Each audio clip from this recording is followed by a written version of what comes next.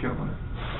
Um, That, that mega like, uh, we've already I taken don't care even of that. if you qualify like. So let's, let's, um, Worldly. explain to Joanne, so Janae is here, she just must have stepped out, and Anna Corley is not gonna be here today. Maya hopefully will I don't, go I'm ahead. not, mine says she may not be here. Okay. Um, and then Mia and, um, Anthony? Anthony, I wanted to say Andrew, I knew that one right. Um, anyway, very sharp crowd. Yay! And, um, to be in the picture, you, no, you're not staying back there the whole time. Um, now, do, if, um, I have a fear of being videoed. I know, right? Right. You just Well, ruined this it all being- today. Joanne. Wait, wait, wait, wait, wait, wait, just watch like how the southern video. I sound. Are we being watch taped? video? Stacy, are we being taped? And yeah, we're, everybody- we're, always we're been streaming now. Yeah, I think she just ruined it. How come I'm, whoa, I didn't sign a royalty deal. My question is, um, cause I can do something here, are you gonna be in here the whole time? No, mm-mm, just for a couple of things. Okay. Um, all right, do You'll- you care if I? You want me to run it? Uh, you know, first I have to ask Diana a question. You just go ahead and start. Okay. So is everybody signed in and everybody's got an evaluation form? Ready. This is the CE credit class, so they have to. Lord, they get to evaluate me. Oh, God. And you didn't bring lunch. You know what? Not all Christmas trouble. I do have Uber Eats on regular rotation that right? on the the phone, so we could just Yeah, believe order in some sandwiches. Cause I don't see that. Um, well, my name is Joanne Bolt. I run the Bolt Group. Um, as they, as y'all have been told, I, um, we are a mega team out of the Cumming location. We have an expansion group here, and we are about to open possibly an expansion group down in Warner Robins as well. So I'm out of production, which has been a whole different thought process on how to run your business, and um, I'm probably busier now than I was when I was in production. So if that's your goal, eventually know that you're just busy in different ways. So, but when I was in production, the thing I did for our team with listings. Um, I haven't worked a buyer in years, but I can work the listings market like nobody's business. So that's why they asked me to come in and teach the price your home section of Ignite. So let's get started. Um, the first thing we want to talk about is market statistics. Now, how many of you have actually been in business before? Or done some real estate before? We taking Ignite because we're branding licensed, or are we taking Ignite because I've done a little bit. done a little bit? Mm-hmm. Okay. I think pricing the home is one of the hardest jobs you'll do in real estate. Because if you get it wrong, you are messing with people's financial pockets. And if you get it wrong, you can quickly get a reputation amongst their friends that you have no idea what you're doing. So you gotta really be spot on in your pricing, because if you overprice it, what's gonna happen? Not gonna say. Nothing, it's not gonna sell. And if you underprice it, what's gonna happen? They're not gonna have that money. It's gonna sell really fast and you just cost them thousands of dollars. Now, the problem for me is there's no magic link, button, or gadget anywhere that you can just hit and say, give me a price. If you could, Zillow would be doing a lot better with their estimates. I mean, let's just call it what it is, right? Zillow tried that with Zestimate, and they're wrong forty percent of the time. Why? Because especially in Georgia, Zillow pulls estimates based on tax records. Well, you know what happens in Georgia a lot? We don't record finished basements or a lot of other improvements that we do because our tax assessors are too busy to actually go out and check everyone's home. And because of that, people can get away with not telling people that they should be at a higher tax assessment. And so for that reason, a computer-generated system like Zestimate will never be right in Georgia. It can be a lot more right in places like the suburbs of Chicago where you got a lot of townhomes, row houses and stuff, and they're pretty cookie cutter. Zillow can be right in big uh, um, townhome condo complexes in Atlanta. You get out where I am in the suburbs, they're not going to be right. So there's no easy button on pricing your home. You've got to be a student of the market and always be watching the market to find out how to dictate the price of the home. Does that make sense? Mhm. Okay? So, um, one of the first things you want to do is pull up your market statistics. Does anybody have an idea how to do that or what we're talking about with market statistics? I like to be interactive. Y'all have to Hmm. talk back to me, Yes, or with me. No. yes. What are we talking about when we say market statistics? You're trying to make sure you capture that region and make sure and stuff that you're in a radius and stuff applicable to that house. Okay, so what kind of things are we looking at for applicability? Well, layouts and stuff, uh, square footages, um, years of construction, that kind of thing. Mhm. And Recent sold. recent sold, days on market, how many days is it taking a certain home in a certain subdivision to sell? What's your absorption look like? How much inventory is out there? Because in a time of market where you've got twenty homes for sale, your pricing's gonna look different than a time when you only have two homes for sale, right? Inventory just shifted. And if inventory shifts, you might have to go up or down in your price for the same home that it can, and that's why it can change every thirty to forty-five days. What kind of market do you guys think we're in right now? fourteen weeks, About a fourteen-week market? So would you call that a buyer or a seller market? so It's a seller's market. How come? How much inventory is out there? Inventory's low. Need six months for. Depending on the price range, right? Uh, From, I think I was looking, it was one, one hundred to the threes, Mhm. inventory is getting limited Mhm. because those people are buying those homes quicker. The higher priced homes, the inventory's still there because they're sitting on the market. I would agree. I think we're kind of in a both market. I think up to about four fifty, five hundred thousand dollars, we are absolutely in a seller's market. Anything above that, I think we're in a buyer's market. Which is really interesting when you start looking at the fact that we're sort of shifting into both markets, it means we're, we're in a shift. We're leaving the buyer's market and heading into a, I mean, sorry, we're leaving the seller's market and heading into a buyer's market. That's the only time you see two shifts, or two markets happening at the same time. Now, you can sit through every meeting every day long and hear people tell you things like, we're in a buyer's market, we're in a seller's market, but unless you're in FMLS and you're studying the data, all you're doing is repeating what other agents are telling you. Encourage you that FMLS should be one of those things you get up and you look at every single day over a cup of coffee. Why? Because the numbers don't lie. It's the best thing about numbers and math. It doesn't change who it is, and it doesn't tell an untrue picture. The numbers don't lie. So if you want to be the expert in your area, and you want to be the expert at the, um, at the kitchen table trying to get a listing for someone, and you can pull the numbers out, not just quote, oh no, we're in a buyer's market, because you've heard someone else say it, but you can show your seller the numbers, they have a, a whole lot harder time going with a different agent, right? Because you've now established yourself as the expert. So what do we talk about when we say the numbers don't lie? And here, I'm gonna get back here, is that okay?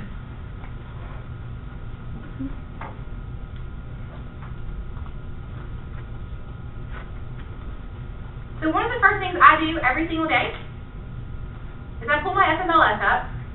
I set up a market watch for my area, the area that I'm more likely to sell a home in. You'll set it up in the area that you're working, and it could be a subdivision, and it could be um, an entire zip code, it could be a city, you know, whatever area you're trying to sell yourself in. Do a market watch. What happened? What did I do? Oh, interesting, okay. So the first thing I'm gonna see here is how many new listings today have gone on market. Now, you can change this to twenty-four hours, three-day, or seven-day. I like to keep it at about a three-day. In the area I'm watching, there are one thousand eighty-eight homes in the last three days that's gone on the market. Now, if I'm a student of the market and I pulled up that FMLS every single day, I probably know that that number just did a massive increase, right? Mhm. So, So this is your area that you're this is my area that I, this is my personal FMLS. Okay. Mhm. So I set my market watch up, um, I watch about two different areas, two to three big areas, that's where our teams work. Okay. So I'm kind of watching probably a bigger scope than you might be watching, but, um, what I'm looking for in guiding my team and their expertise knowledge is the fact that we've got one thousand eighty-eight new listings on the market. But here's my really concerning piece. Back on market is two hundred and forty-four. That means two hundred and forty-four homes expired or withdrawn for whatever reason and have now re-entered the marketplace. So what that tells me is we've got stuff that's suddenly starting to not sell. Well, with that stuff, that could also be failed um, failed contract. yeah, It like I could. just experienced that. um, Absolutely, but when I see those numbers start going up and down, and I see that my pendings is about one thousand seventy-six, so in the last three days, we've also had a lot go pending, I start to see that the buyers are out there, they're active, and people are putting their homes back on the market. Expired is hundred and sixty, that number's gone up. Forty-five days ago, when I pulled this up, my expires were only like 95, 96. Well, now we're up to one sixty. What does that start to indicate to me? We've got some homes not selling. What's my first thing that I look at with that? Price. Right. But, Looking price. Now, when we talk about pricing your home to sell, and I know what we're really talking about in this class is how you're going to write a listing contract for your seller, but should I know that stuff going into it? Yeah. Because in the first conversation I'm going to have with my sellers, hey, Mr. Seller, this is why we can't overprice. We have more and more homes suddenly not going under contract. Joanne, do you have, do you have come to the end of the month, like typically on the when they have, when they... Yeah, you will see them at the end of the month because people tend to write their contracts to end at the end of the month. So there is, there is... So you will see spikes then. Mhm. But like today, or in the last three days, we're not really at the end of the month yet. That first week of the month, your, that number's gonna go up and you should expect it. Agents, for some reason, will always, like, they'll set everything to expire on the thirtieth of the month. Just something we do, I don't know. But, yeah. But if I'm watching that, I can tell my sellers, you know, forty-five days ago, when I looked at this, we only had about ninety-something in, in the expired list. Well, what does that mean for you? We have more houses not going under contract, you can't overprice. So let's talk about your price. Because sellers still today seem to sometimes think that they can just put their home on the market for what they want out of it. And at the end of the day, they can only sell their home if there are enough buyers out there to absorb their home. And buyers have gotten smart, and they That's a hard conversation that you It's a- had with them initially, right? Yeah, yeah. You do that at the kitchen table when you're doing your listing presentation to them. Um, but they all want out of their home what they feel that their home is worth. And at the end of the day, it still doesn't matter what they think their home is worth. It matters what the buyer thinks their home is worth. So when you've got some numbers behind you in black and white, it helps you kind of get to that point. All sellers think that we are underpricing their home. It's just a natural thing that they think. They think we're gonna price it at two hundred, but they want two fifty out of it, and we're doing it two hundred just to sell it faster. It's, it's the wrong mentality, and sometimes you have to work them around to the right mentality. Yes. Are you, do you just have these numbers with you by the time you get there, Oh, or are you pulling it while you're there? I will actually pull it live while we're there, but I will also have something printed out for them. Gotcha, hmm You always wanna leave them something, but show them live data while you're there. gotcha. So if you've got your laptops, what I want you to do right now is go into your FMLS and let's start looking at your market statistics, because that's the first thing you're gonna look at before you price your home. Before I ever price a home for someone, I'm gonna start pulling up my market statistics and find out what's going on in an area. So how do you build a, you gonna show us how to build a Yep. church? I am. So. And I'm very hands-on, by the way. I believe you should get in the systems y'all are using when I teach, so if that is rocking anyone's world, just let me know. So I live in a subdivision called Creekstone. And I actually did a listing presentation, um, two nights ago for some, one of my neighbors, so we're gonna kinda use her as a, a guinea pig. I'm gonna immediately go into my withdrawals, my solds, my pendings, give it all to me. I don't particularly wanna go six months back. Why? I think in the market we're in, you don't need to go six months back. But you're making an assumption that they've been sold, obviously Creekstone's a big subdivision. It is. So if you're in a smaller one, I'll show you that too, in just a second. Well, I'll my, do my that one. point is, if you're in a smaller subdivision and you don't go back three hundred and sixty-five days, you won't have anything. you go out, cast your net wider, go to the elementary school. Why? People, people buy within school districts. So if you're in a subdivision that is too small for you to pull stats on, because there's not been enough sales, pull out to your local elementary school. And if you still can't find it, go to your middle before you go back in days. Because my appraiser's not gonna care what happened three hundred sixty-five days ago. you, so you know your market pretty well, I assume, and you know every subdivision within a mile radius, right? Sometimes. And you know some of the subdivisions of the houses that are in that subdivision are not comparable to Creekstone. Correct. So why wouldn't you just put Creekstone, comma, Flat Shoals, comma, whatever, of the subdivisions that you know are comparable? Because first I want to see what is out there in the elementary school district that a buyer might be looking at, because I can't always guarantee. Yeah. And then I start narrowing down. But that subdivision is gonna be in that elementary school district, relatively speaking. I would rather see everything. And then if it's too much, start narrowing down by particular subdivision. So you don't think, uh, well, pending, pending and sold in the last ninety days is too narrow? Um 'cause it's only ninety days, so you're not real, I mean, if you're only doing But they a, got that many in that That's- subdivision, yeah. that's amazing. Well, no, these aren't, Draw. hang on, Draw. I gave you the point. that- I that's don't want kind of a pretty narrow, especially if you're looking in the winter time. I mean, past ninety days, Even that's a boatload right there. yeah. So this is a bigger subdivision. There's three hundred and twenty-five homes in the subdivision. So it, it does allow me a little bit more flexibility with my days back. Mhm. Um, I'm still gonna keep it within ninety days unless there's literally nothing. And then I'm gonna maybe extend my days or send out to the elementary school district.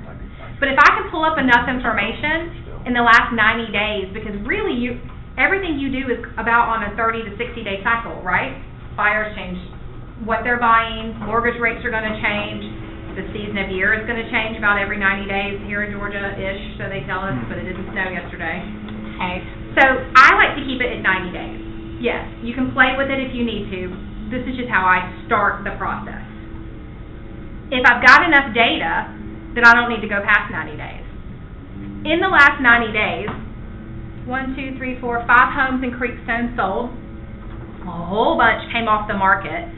Okay, it's January. I bet they came off end of year, now they're gonna wait for spring to go back on. That kinda makes sense in my head. Only one went pending, but we have nine homes active. And only one went pending. So that tells me in this subdivision, we gotta get real serious about the price of the home and the marketing of it. Why? Because it's competing against nine others in the subdivision, and of those nine, every ninety days, only one's going pending, right? And Yes. four hundred thousand dollar spread. Yeah, there is. And so that's where I start learning how to price my market. Now, the next thing I go and look at, just for kicks and giggles, I shake it all, and I ask for a quick CMA. This is just me getting started. Because if you can price a home for your seller in five minutes or less, I will wager you didn't put enough thought into it. So when I get started, I look at how many listings, there's nine. The average, there's six bedrooms, five and a half baths, they were built around two thousand five, and you're looking at about a million dollars. For pendings, you're looking at eight hundred and thirty-nine thousand, so what does that tell me right there? Yeah, the lower price point's selling, the higher price point isn't. You had several, obviously, with uh, reduced pricing and stuff on your Mhm. previous page.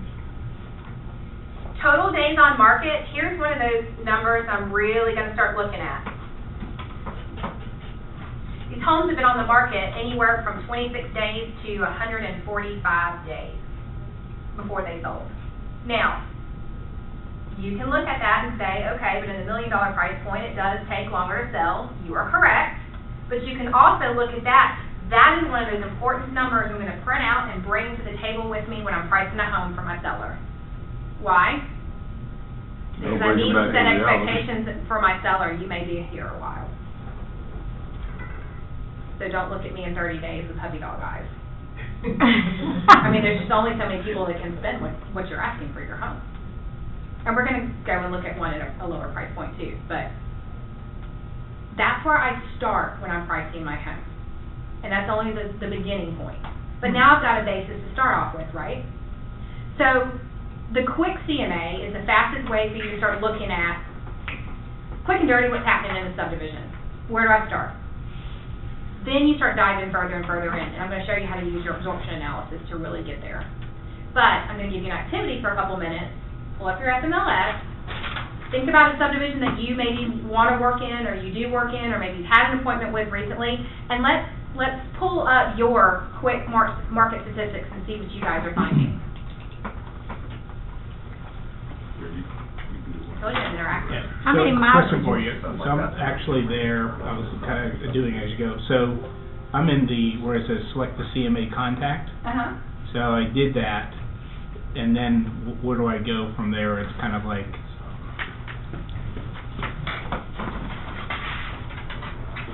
Oh, that's if you wanna send it to someone. okay, well, So, okay, back out, where? You get everything that you need for you your look search. and make, go back to your search, Yeah, you get it all. to where you did your search. Okay. So what Oh, yeah. subdivision or zip Oh, I code or had it, I had elementary? it all in there. Sorry. Okay, uh, okay, so pending, Yeah, That's right. yeah. um, I mean, you need nine every year they're out, but. alright, Cause I got, I. So you got eighteen? yeah, Yep, go hit result. Right. Now, if you'll check that little box up mm-hmm. there. I did that, and that's And what it took me to. There's a quick I- CMA. Okay, I did that, and that's where it took me to that First year. one screen. Okay, so, perfect. that's the one And purpose. just lets you on you. Yeah. John, what, what was the mile radius that you said within how many miles? I do about three. Okay. If you pull up a subdivision in FMLS and there's just not enough data, cast your net wider, go out three miles, go to the local elementary school, go back thirty more days on your search and start over. But keep doing that until you get enough data to look at. What's enough? I like fifteen to sixteen, fifteen to twenty to look at. Um, I really do, and here's why. And, and you may not be looking apples to apples at a subdivision initially, but what you're looking at is, if you, you know, if the home you're looking at is in a subdivision that typically sells in the four hundred thousands, and you pull everything in the local elementary up, and it gives you nothing else in the four hundred thousands, well, you know you're the only game in town at that price point, right? So, that may cause you to be able to price a little bit higher. If you pull up fifteen subdivisions in the elementary, all in the four hundred thousand price range, well, the homes may not be identical, but guess what? The buyer's seeing them all. So, they are your competition. What if, what if it pulls up too many? Narrow Mhm. down. So, Start picking out the subdivisions most likely to be like yours. so how do you Homes tell? built around the same age. You know, if, if your home was built in two thousand and five and it's pulling up stuff built in nineteen seventy-eight, ditch those. So how does it reflect information where, uh, say for example, a home was on the market for, say, ninety days, taken off, relisted? Would that show in the total days on market, will it show basically that it's Mhm. relisted and it's on the market now for making up five days? It'll skew those numbers So, some. so it'll be showing five days in the market, right? Yep. At, potentially at a new price. potentially at a new price. Right, okay. But you know what that tells me is now my seller's gotten serious. That seller got serious and finally figured it out. Yeah. Or they did their updates or, you know, whatever they've done. Got it. Yep. Oh, I And uh, see. why do you pick a elementary school instead of a I high can't, school? sorry, what? Why do you pick elementary school instead of a high school? Just radius. Your elementaries make up a much smaller section of your high school. And so typically, if, if someone's looking, yes, they look in school districts, but that's where I start to cast my net a little bit wider. And if I still don't have enough, I might go to the middle school and then the high school, but I start with my elementary to see if I can cast my, my net just wide enough to get enough information. So they don't have square footage on here, right? No, but you can add it in. Where's that, where's that quick one? Y'all, have y'all seen that? No. I, Okay. Uh, When you down to pull the out bottom. the CMA, do you also, uh, consider the new construction, compare with the new construction in the same or nearby in the Sure. same neighborhood? Um, so you're gonna go back to, Like a column, This where page? she is right Mhm. there. Right, right. go down, to the look, green look at the bottom. Uh-huh. So what I'll start doing, if I need She to said so. narrow down, now, you can't pull it up on your quick CMA, but you can add the column of square footage. mm-hmm. When I do it, I also do square footage source, because tax records is one thing and the homeowner is It's totally different. But this will give you a good idea to start with, um, just to kind of see what kind of square footages stuff is selling for. And you can start taking stuff off your list if you wanna narrow down your quick CMA. But that's where you start with your statistics. So what are you guys seeing in the areas you're pulling up for your statistics? What are your days on market? Come on, I gave you homework. Did you get there? I can't pull it up on the phone. That makes sense. I don't think I'm pulling mine up right. I'm not sure why. It's pulling up multiple subdivisions. That's okay. You just need to narrow your search down. Yeah, scrap, two fingers. So you pulled up, um, an elementary school, so it's gonna pull up multiple subdivisions. So you might wanna narrow it down, go back to like ninety days, narrow it down. There's those comparables. Mm-hmm. And that'll give you a little bit less.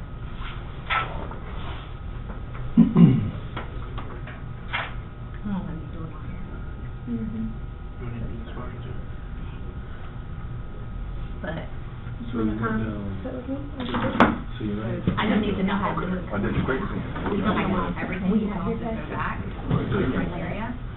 So how did you? Yeah, and I was trying to avoid bringing. So Pete, why don't they have the square footage on the active? Everything under six hundred thousand. Well, this is a report you're looking at. You know, quick thing. Kind of what we're doing. No, I, I got that, but I was looking at the report, so I got the square, uh, not square, I didn't mean square, no, I no, meant no. like days on market. Yeah, We're looking for a report.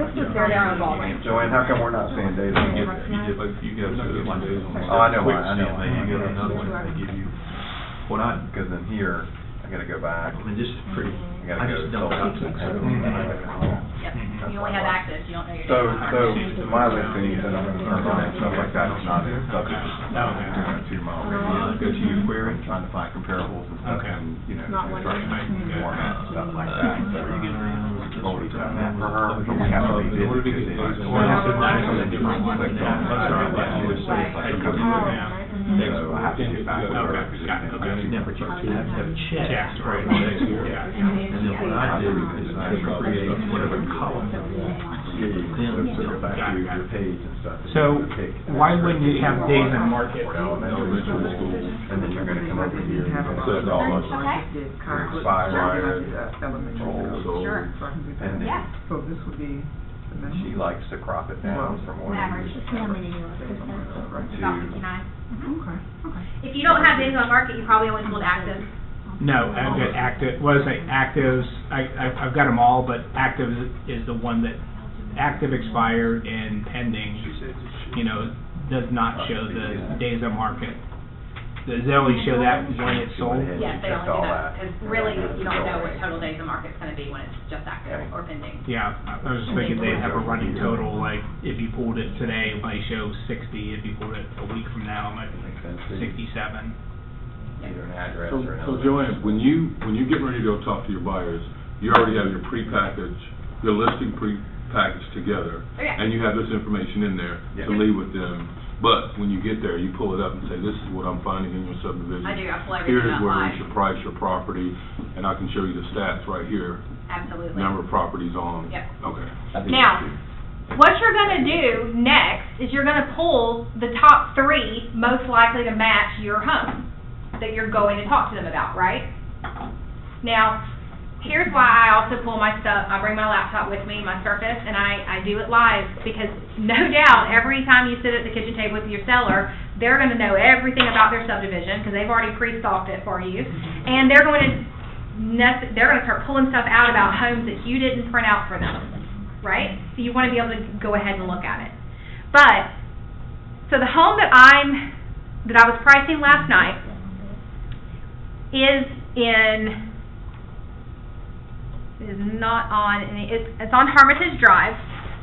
So I looked at that one. And it's the ne- it's actually next door to this one at seven fifty-nine nine on Hermitage Drive. And you know So- good well, she knows what they pay. Absolutely. Neighbors are very nosy, folks, and Zillow makes it very easy, and Realtor.com makes it very easy to be nosy, and, and they will always know what's going on. So like my wife. You have to expect that your seller is gonna have already pulled their own version of their comp, because they're gonna look at you and say, well, you did, my house looks better than this, because da, da, da, da, da, da, da, da, da, okay? So that's where you also have to know what sells and what doesn't sell. Or you'll let the seller sell you on their price point, okay? But you're also doing that because, you know, you would have chosen that one anyway because it's on the lower end of the fence on pricing, and then you would have chose something higher as well. Absolutely. Yeah. Even if they were comparable, you want the low and the high. to Now, I'm gonna go in immediately on this one and say, well, thirty-nine ninety-four square feet, um, is really off for the rest of the square feet. So I'm gonna assume, because I did click further in and see that it did have a basement, I'm gonna assume that they're not counting basement square footage in this, because again, Georgia's tax records aren't always accurate, right? We already talked about that. And, and I'm gonna assume that that's an anomaly, because if everything else is up at seven and eight and nine thousand square feet, why is this one only at four? Is it really the gnome house of the, of the neighborhood?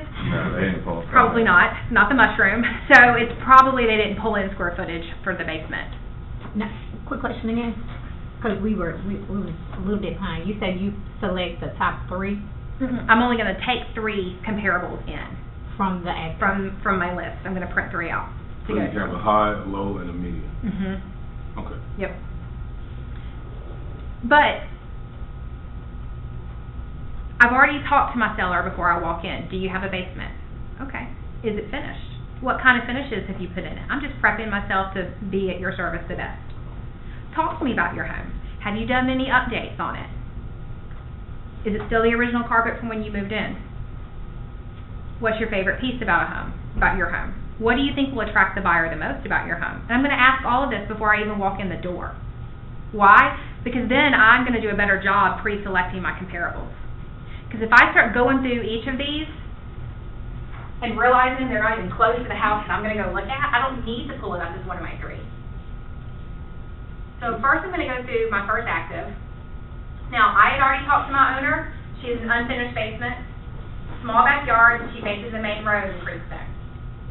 No pool, okay, so I already kind of have asked her these questions. So when I'm going through, I'm gonna look at this one, and I'm gonna say, okay, well, it has a basement, it is finished, it's probably not a good comparable, but I'm, I'm gonna keep it on my radar. Um, it has one to two acres, so it's a bigger one. Oh, it has a pool, she already told me she doesn't have a pool, this is not a good comparable for us. Arbor Valley. No pool, we're getting closer. Basement, finish, may not be a good comparable for me. That one doesn't even have a photo, good grief. Oh, That's fine. I didn't get anywhere. No pool, okay, so this one may be one I come back to. I do a lot of cast the net, narrow your net. Creek Tree Lane, let's see.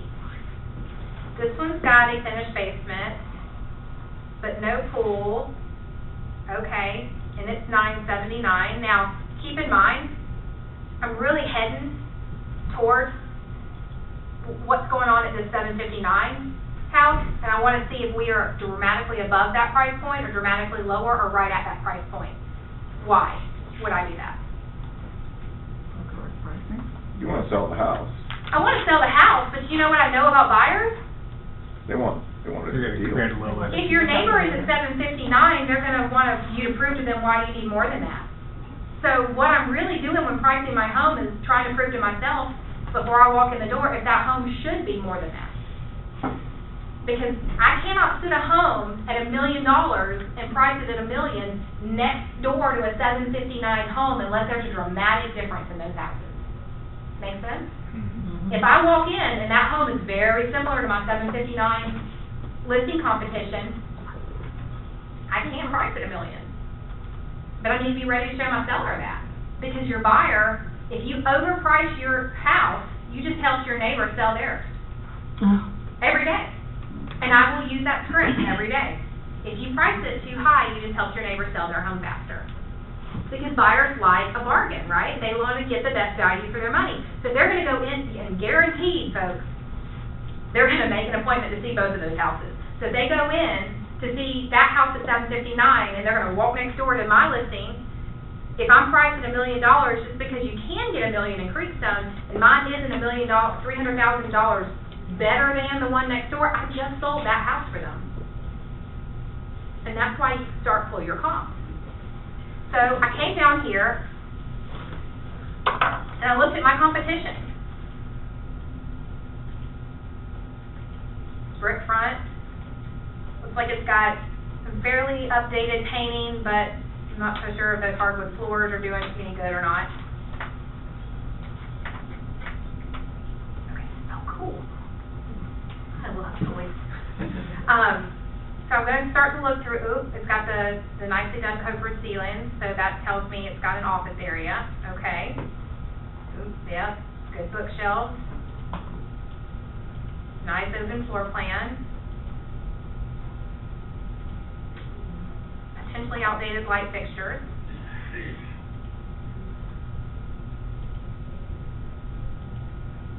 And then I go to the kitchen. The kitchens, hands down, are one of the biggest hotspots for your buyers. You have to know that as a listing agent. Because if your buyers are seeing everywhere else that they're looking at this price point, brand new, updated, fantastic kitchens, the Mac Daddy kitchen, and they walk into yours, what are they immediately gonna do? Ask you for a price reduction. Mm-hmm. So are you doing your seller any good to not know that their competition has updated kitchens or not? You're not. And that's why you have to spend some time and dig into what you're doing. So I'm gonna look at this and say, well, the kitchen's not really updated. It's pretty standard for an older Creekstone home. We got a heating area with a fireplace. I'm really hunting is that almighty basement. Okay, there's your master bedroom, nothing spectacular about it. There's your ki- there's your master bath, nothing spectacular about that. Okay, now I'm starting to see why it's seven fifty-nine when other stuff in the, in the subdivision's nine hundred. Not updated. It's not been updated.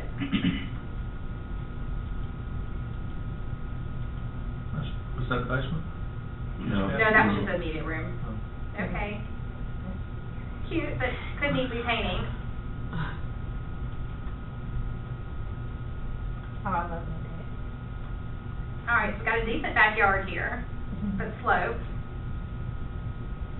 That's one out. Depending on how the photographer did, that's either a soccer backyard Mhm. or a really good photography job.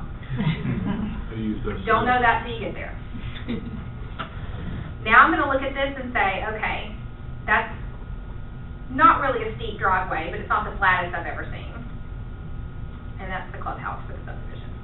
What's All right. behind, what's behind it, do you know? I mean, is that like, So, and I will like, say, it almost looks like a farm behind it, just in that one picture. it's actually up against, um, a main road. Okay. And I just happen to know that because I know Hermitage Road. I mean, that was just, the more you're out in your areas, by the way, the more you get to know, Mhm. so that you can just kind of know these things off the top of your head. So then I'm gonna go up and say, well, that explains to me why the neighbor is at seven fifty-nine, but what if I walk into the one that I'm looking at and it's completely updated? So then I'm gonna go back to looking at the individual ones. Well, this one's at eight eighty. Hang on. Let's go back first. Finished basement. Remember, the one I'm gonna price is not a finished basement. Mm -hmm. No pool, so we're getting closer.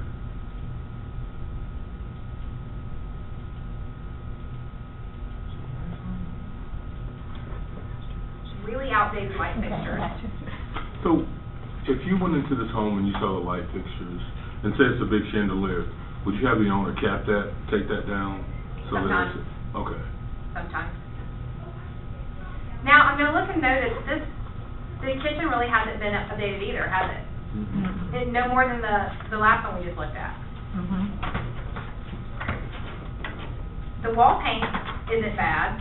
We got hardwoods that look a little bit darker color, so depending on their condition, that's good. Again, we got a really outdated master bath. Okay, so this one is eight eighty. It doesn't appear to have much more updating than the one I just looked at. I like the one you looked at better. It just has a finished basement. It's a tiny backyard. Oh, Oh, now we're talking, in. now we have Yeah. screened in back porch. People love these things, by the I way. love those things. Always know what buyers will trigger. Screened in back porches are one of those things Georgians love. That's what- Yes, thank you. That's probably a realistic view of that backyard. So, Now, I'm I'm also seeing something. a lake. Now I'm I gonna give this one a little bit of credit because it's on the lake? Yes. Because what do people also love? Lake Waterfront view. property. Okay. Gotta dance, as the music comes on. People love water. So this home probably is priced a little bit higher because it borders the lake. And that's Which- and patio. I've happened to know in Creekstone, there's three lakes, and so this one's gonna get a little bit of a bump for being on the lake, because they get to use the lake, and they get to look out on water. People just love that stuff. That's probably why they have a screened-in back porch, or a glassed-in back porch, so they can sit and look at water. Hmm, is So I'm starting to covered get a feel for the, the surrounding homes, the neighborhood, right? Without ever having set foot in the neighborhood, or in my seller's home. Okay. Is that a subdivision lake? It is. Are they responsible for, The H. I don't know who this is, I'm just gonna mess yeah, just, I'm just out of curiosity, because I, um, a lot of times lake, lake owners are responsible for their portion of the lake, and if you ever have to drain it, or, No, and Creekstone HOA takes care of all of it. And these are just questions you start asking once you get on the market about what does the HOA take care of. So I'm starting to see why this one may have not been at the seven fifty-nine price point, even though it didn't internally look as updated, it may have bumped into that eight hundred price point, Mhm. right? Because now we've given a different amenity. Right. So okay. let's go to our next one. This may be one I would print out and take to my seller, by the way. So you're taking the neighbor, you're taking this one. So Yep. you need one more. I need one more.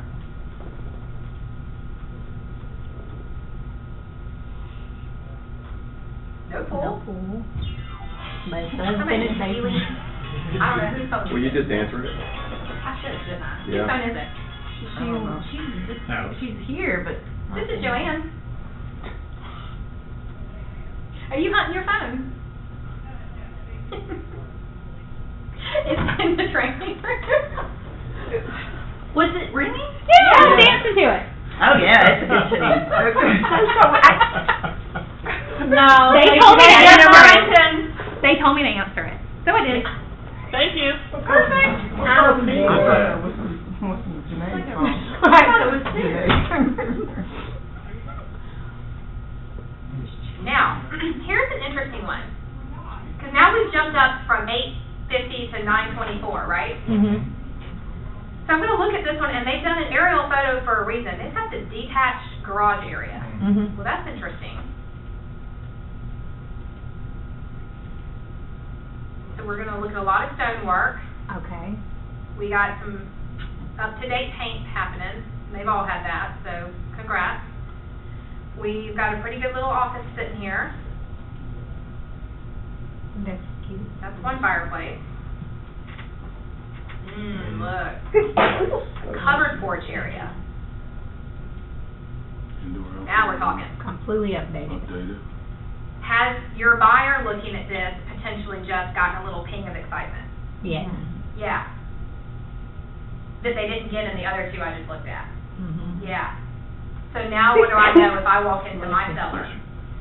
If my, immediately, right now, I can somewhat stop, right? I'm gonna keep going forward, but in my head, I can stop and say, okay. If I walk into my seller's listing tomorrow, my appointment, and I walk into a completely undated kitchen area and an unfinished basement, now we got two knocks against them, No screen patio. there is no way I can go up to nine twenty-four. No screen in porches, not on the lake. No updated I can't go this high. So you just gave yourself a cap. I just capped myself out. Oh. Okay. Unless I walk in and that's what I'm looking at, then I can reassess and repull some stuff. But I'm gonna, she's already, to- I mean, let's be honest, she's already told me that they didn't finish the basement. They've been in the house for fifteen years. Chances are they haven't done the kitchen either. I'm making an assumption, I know that, I'll own that. But I'm just gonna make that mm-hmm. assumption Okay. before I walk in the door. That's as high as I'm probably gonna go. If her house looks like this. Okay. Now I'm gonna keep going. By the way, these have, these people have a finished basement. Yeah, that's nice. Cute. Look at all these appliances. You could, I bet that they're high-end. Got a little butler's pantry done in over there. We got the, that's a full keeping room, by the way. And again, the more you get to know the subdivisions you're listing in, the more you'll start to know characteristics. So I'm cheating here. I will tell you in Creekstone, at nine hundred and a million dollars, if you don't have a full, actual keeping room, you're not gonna get that kind of money. Creekstone homes have keeping rooms with fireplaces. This one has that. So now I also know when I walk into the home I'm gonna price, I'm gonna be looking to see if they have an actual keeping room. Not just a little spot where a kitchen table goes, but an actual keeping room. Because that's some of the things that put this home at the nine twenty-four range. You look at some of these details.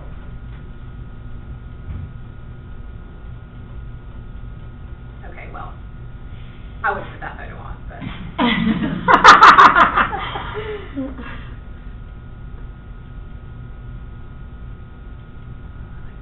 They've, they've put some time and money into keeping their home up.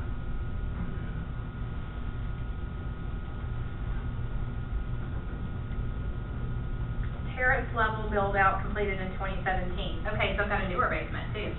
I don't have a basement that already probably needs to be redone. That's good, And it's terrace level, and it's terrace an level. extra ten K. We got the bar area. Mhm. Okay. And you call it the terrace level, it's right? Yeah, you did that. What's it called there? Huh? What is it called there? So- When Because it's it sounds walkout. fancy. It's walk It is fancier, but when it's walkout basement, um, it's, it's more of a terrace level, because it's not really subterranean under the ground. And we've got, I mean, we got full brick all around, and a nice backyard.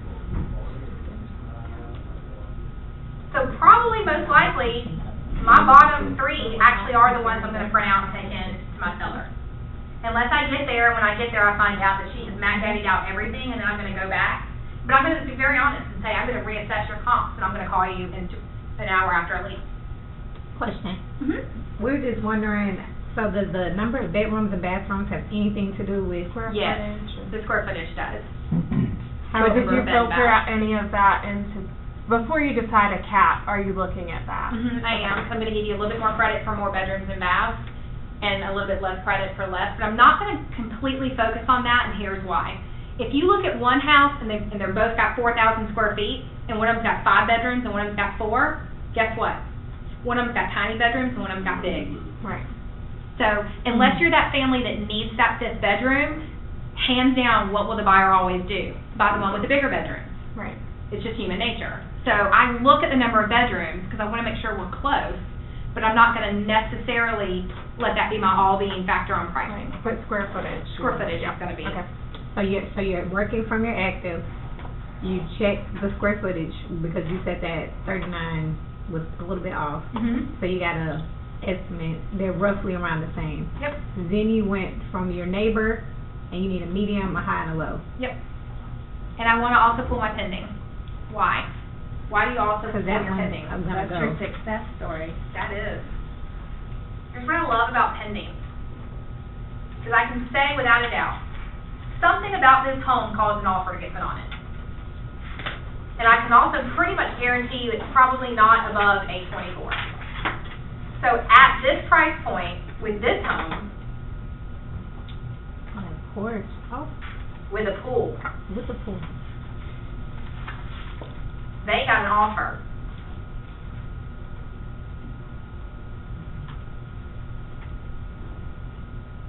The kitchen's not updated. So here's what I'm also looking at. The kitchen's really more like that one that we were looking at at eight eighty, right? Mm-hmm. Okay, so is there probably a reason in my head why the eight eighty doesn't have a contract on it? It doesn't have a pool. This one Ah. does. They're similar in their updates.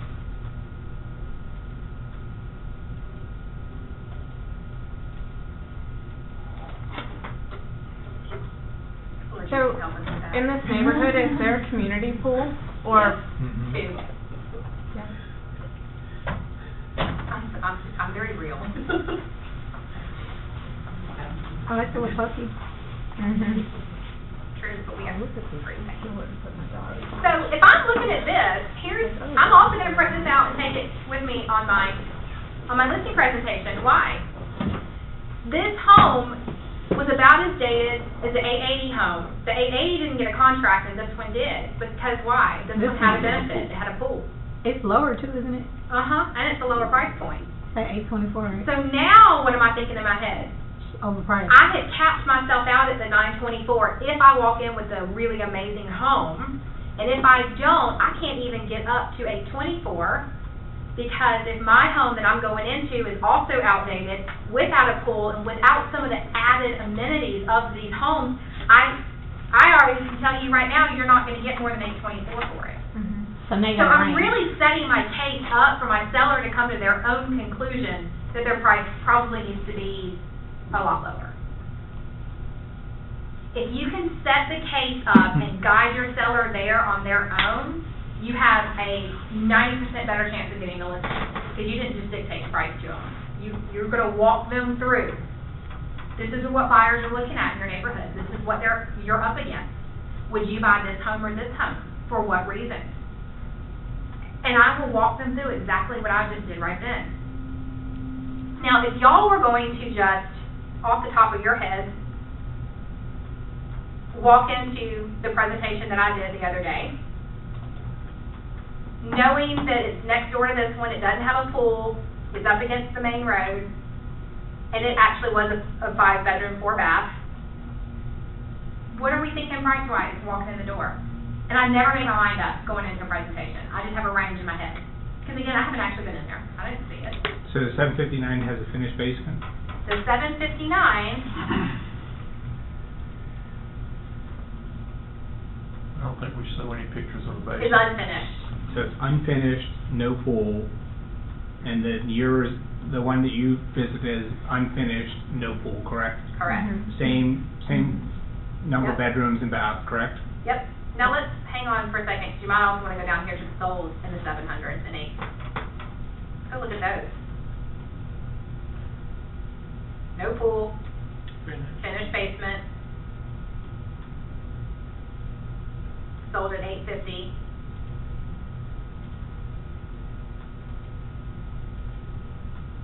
Looks updated, oh yeah. Yeah. Wow. Hey, now I got a sold comparable. Oh yeah, that's awesome. Level backyard. But this one that sold for eight hundred, no pool, finished basement, So we can't go over eight. screened in porch. Porch.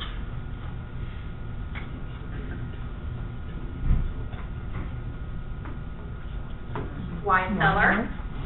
Now we got an amenity, Mhm. screened in porch, now we got another one.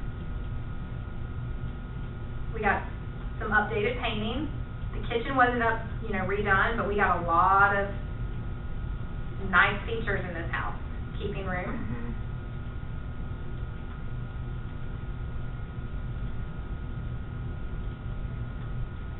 this one sold at eight nineteen. Did I sell this one? Sorry. No pool, Mhm. finished basement on the lake. You probably gotta be around the seven fifty range, You or do, slightly below.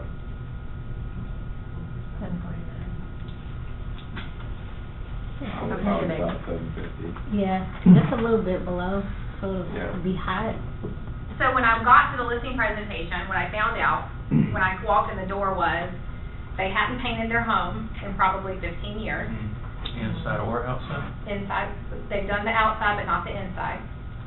The floors needed refinishing, badly, badly scraped all throughout. They have big, big dogs. Kitchen hadn't been redone. Two of the stairs on the porch, I'm gonna question whether my inspector is gonna let them pass or not. I mean, the house was not in great condition at all. So I walked in, after looking at all this and thinking, I'm gonna be somewhere between that seven fifty-nine and about eight ten. And I walked out and priced her at seven forty-five. Hmm. Fair, cause she's gotta fix some stuff. Yeah, she's gotta fix some stuff.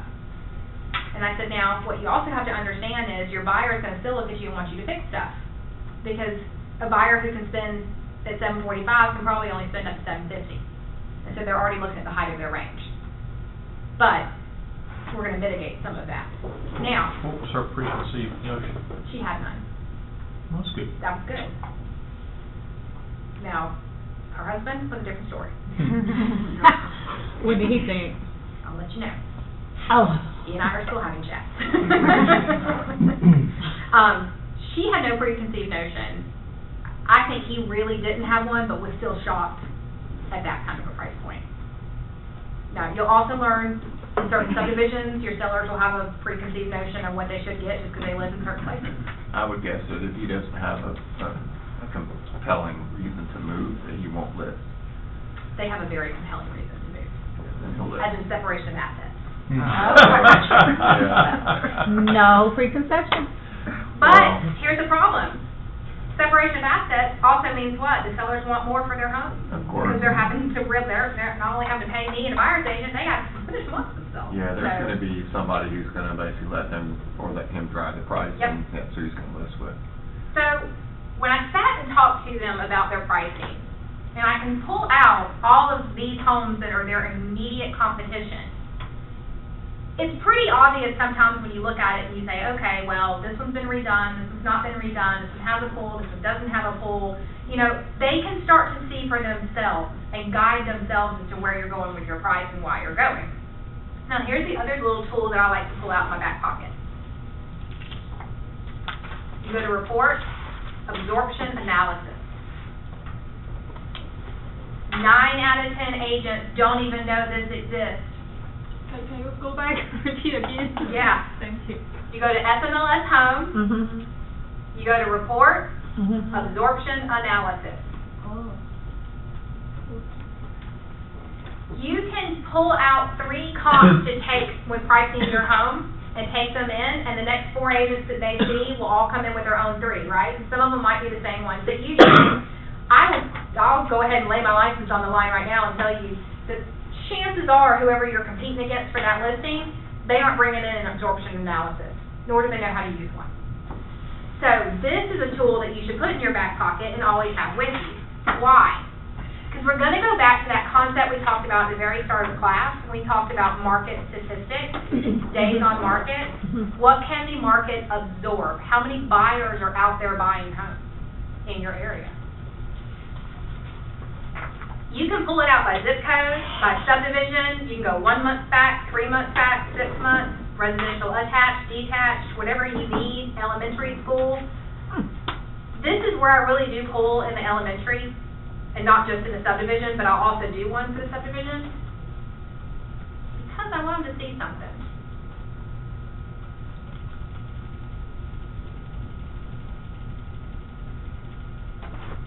Creekstone is in the,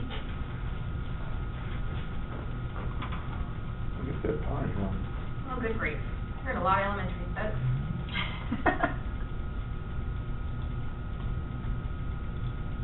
How many months back do you go? I go two to three. Creekstone's in the Shallow Point Elementary School District.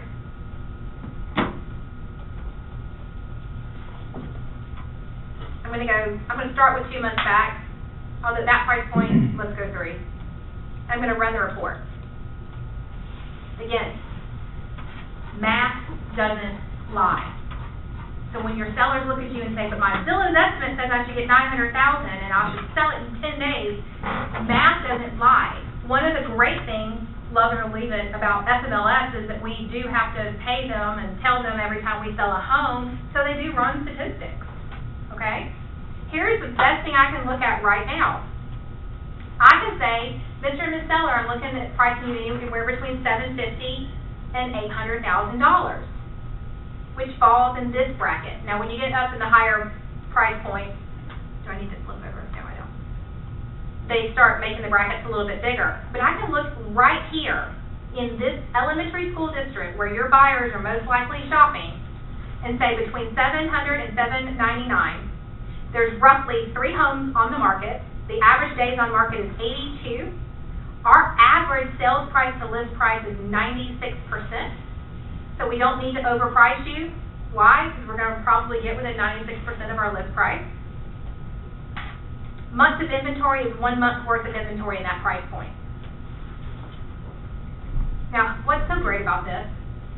If we were borderline talking pricing with my seller, and I'm looking at maybe six ninety-nine to seven ten, and I can look and say, well, in the six ninety-nine, there's four months worth of inventory, there's a lot more on the market.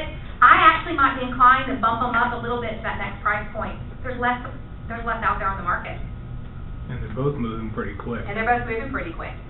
But if we were looking between seven ninety and eight hundred, it also makes my case for keeping them at seven ninety versus going to eight hundred, because I know the difference between one and two months worth of inventory doesn't seem like a lot, but that's thirty to sixty more days that you're gonna sit on the market waiting on your buyer to show up, right? This is fantastic, by the way. Mm-hmm. I think it took me six years in business before someone told me about this. Well, thank you. Showing the average days on market in the eight hundred. Yep. Now, average days on market is, is lower at eight hundred, and I can probably make a good educated guess, because I'm a smart agent. Um, in the eight hundreds, they probably renovated their homes. And in the seven hundreds, they're selling it not renovated. Mm. What do people like to do? Buy them already done. It's the easy button. And that's where you have to get to know what buyers are looking for and what their thought process is when you're also looking. You have to know the buyer side to be a great listing agent. Because the truth of the matter is, and here's the conversation that I have with sellers all the time when we're talking about pricing it right. If you look at a home that needs a lot of renovation, you automatically think, oh, well, I'll just price it a lot lower and that'll, that'll sell it, but you have to acknowledge who your buyer is gonna be. Your buyer is gonna walk in and not necessarily have the cash to renovate it. So you may sit on the market longer anyway, because you're looking for the buyer who can get a mortgage for your home at your price and have the cash to do the renovations. Because ca- redoing a kitchen takes cash. You gotta strike a check. It's also time. So I'm, I'm gathering and stuff, when you basically showed this to this person, it wasn't just about the money, it was probably about time. Time. So, And my conversation now when we talk about pricing the home goes a little something like this. Hey, Mr. and Ms. Seller, if you'll spend thirty thousand dollars now and renovate your home, I can probably get you, I'm gonna pull out this other comp, more in the eight twenty-five to eight fifty range, and we're gonna actually sell faster. Right, so I had a similar situation and stuff, and, um, they elected to spend the money. With that being said, I listed the property while they were doing the work. Now, that's a personal decision as an agent, I won't. Right, I get it, but I was under Yeah. contract within two weeks. Right. And it just depends to me on how fast that work can get done. If it's just painting, that's one thing. If it's like a No, major deck it- renovation Yeah, it was, or, it was you deck know. and it was all. Buyers like it already done. Right. The The last thing- HGTV has killed us in that sense. They do. They walk in and think it should be done already. What's the difference between the average days on market and the average total days on market? Um, total days on market and days on market, I believe is when they were looking at how many days it took to get a contract versus close. Okay, so the total is closing and the first one is contract. Yep. You're awesome. And current active, current active is what? Um, Number of properties. Number of properties and the A status currently available. And then what's the, uh, uh, that's active, so currently there's two, two active, Mm-hmm. and then on top there were three sales? Or then the, on top, first line, number one, resident, you know, detached sales. three so sales in the last Three sales. Three months. Okay, three sales, days on market forty-two, total days, got it. Now, here's what I'm also gonna use this for. And again, when I go on a listing presentation to price a house, like, I don't just walk in there on the fly. Like, I have really thought about this, because these are things I talk to my sellers about. When I, I don't just slap a CMA in front of them. Anyone can hit the button and hit the quick CMA, right? And there's eighty-four thousand licensed agents in the Atlanta area. Don't be one of them. Just slaps the quick CMA. Um, here's my other thing I'm also looking at. I'm hunting a buyer for your home, right? At this price point, what do most buyers probably have to do? Sell their home. What's the most likely price point move up that can go into your home? If I'm encouraging them at around the seven fifties, it's anywhere from four fifty to six hundred, right? So now I'm also gonna use my absorption analysis, just a different version of a CMA. Why did you say right? You, you did the numbers in your head. What was your Because thought? most buyers move out of a four fifty to a six hundred thousand dollar home, the next pop-up that they do is about a seven fifty or above. And, and you just know. I just know that from years of experience. But if you don't know that, go ask other agents in your office. Oh, I get, I. You get what I'm saying? So now I'm gonna look at it and I'm gonna, when I'm pricing this home, I'm also gonna take into consideration in this elementary school district, in the four fifty to six range, there's a lot of homes worth of inventory. Hmm. So what does that tell me? It might take longer to. It may take longer to sell your home just because we're waiting on them to sell theirs. So, Mr. and Ms. Seller, are we gonna price it seven fifty-nine or seven fifty or seven forty-five? Because if it's not gonna really make a difference in your bracket, but we're waiting on someone else's bracket to be able to move into yours. That's good. That's really. Now I've won the listing. Mm. Because I am thinking through, not only pricing their home, I'm thinking through their potential buyer, and guess what the other agent they're talking to is not doing? Giving a crap about that. You've already done all your homework before, And do I look like the expert? yes. People hire who they trust. And you can more often get them to price it right at the lower price point when you can point that out. Because if I'm struggling to get him to go from seven seventy-five to seven forty-five, because there's a thirty thousand dollar difference, but I can show him the months on market, and I can show him who's moving into his home. I've got a much better chance to get him to price it right at the beginning and not six months down the road. But In your market, and we'll use that subdivision as an example. What's it called again? Creekstone. Creekstone, all right, so people that move into Creekstone, are they moving in from surrounding area, or are they coming from Buckhead out? They're coming from Buckhead out. But, so therefore, the numbers that you just threw out don't hold water. They do because the ones that go in from um, Buckhead out or, or Buckhead out are generally also staying in the private schools, and I pulled up the elementary schools. And so we're also getting a lot of people who are moving up in the, within the area. Would, well, I, I guess you can't do it on this report, though. But you could pull up an absorption analysis for Buckhead out and do the same thing. Exactly. And show them both. Right, I got a lot of, infant- I got a lot of buyers waiting on someone else to buy their home before they buy yours. So it's gonna help me price your home correctly the first time, not six months down the road. I also use this really heavily, I pull my own st- I will CMA myself, by the way. I'll show you all that in a minute when you're pricing your home. Um, if you run your CMA against the stuff you've sold, and you can show that where you price it sells at an average at or above that ninety-six percent sales price to list price, you also just gave credence to yourself when you're pricing your sellers. Hmm. So now they know you're not just walking in and saying, I just wanna price you low to sell you, or I'm overpricing you. I'm not, I'm not willing to take your home overpriced, and here's why, Or if you know who you're going up against, you run it against your competitors. all day. All day, every day. Really? Ashley, what are you thinking? Got that look on your face. Uh, what is what? You got that look on your face, like, No, "This is I, off." I really am impressed with the, um, going and after the typical buyer and running that absorption analysis. I would, I wouldn't have thought of it. You will now. I will never not do it again. When I look, and this is where, and I was very honest with Stacy when she asked me to teach at night. I said, I'm going to go off the material, but I'm going to tell you how I really do it. Because what I have found is most agents have no clue how to use FMLS, how to Hey. truly pull up a CMA, Hey, and they'll do a quick CMA, and then they walk into your seller, and then they want to focus on everything else. Right? I walk into my listings presentation, I kid you not. Mr. Ms. Seller, nice to meet you, I'm Joanne Ball with the Bulk Group. Other than price, what do we need to talk about today? you say that? Every time. Because I want to know what their hot buttons are, because I can address those, but if their only hot button is price, every seller, hands down, wants to know what you're gonna price their home at. So we all know that that's gonna have to be discussed, let's just throw it out there. Other than that, we're gonna get to that, what do we need to talk about today? Because the, the agents that walk in not confident in their CMA have to focus on everything else. And the agents who walk in super confident in their pricing can focus on everything else. Does that make a difference? Does that make sense? So obviously, you're waiting till the end to talk about it, Yeah. but isn't it killing them? No, because I've already addressed the fact that we're gonna talk about it. Especially the husband that you just met last night, he wanted to know that when you walked in the door. Yeah, but I told him we have to talk about everything else first. Okay, and he I like calmed to down? let Candy out. Yeah. At least he joined you in the. Because I also acknowledge to him, this is super important to you, it's probably the most important thing we're gonna talk about, so I don't wanna fly through it.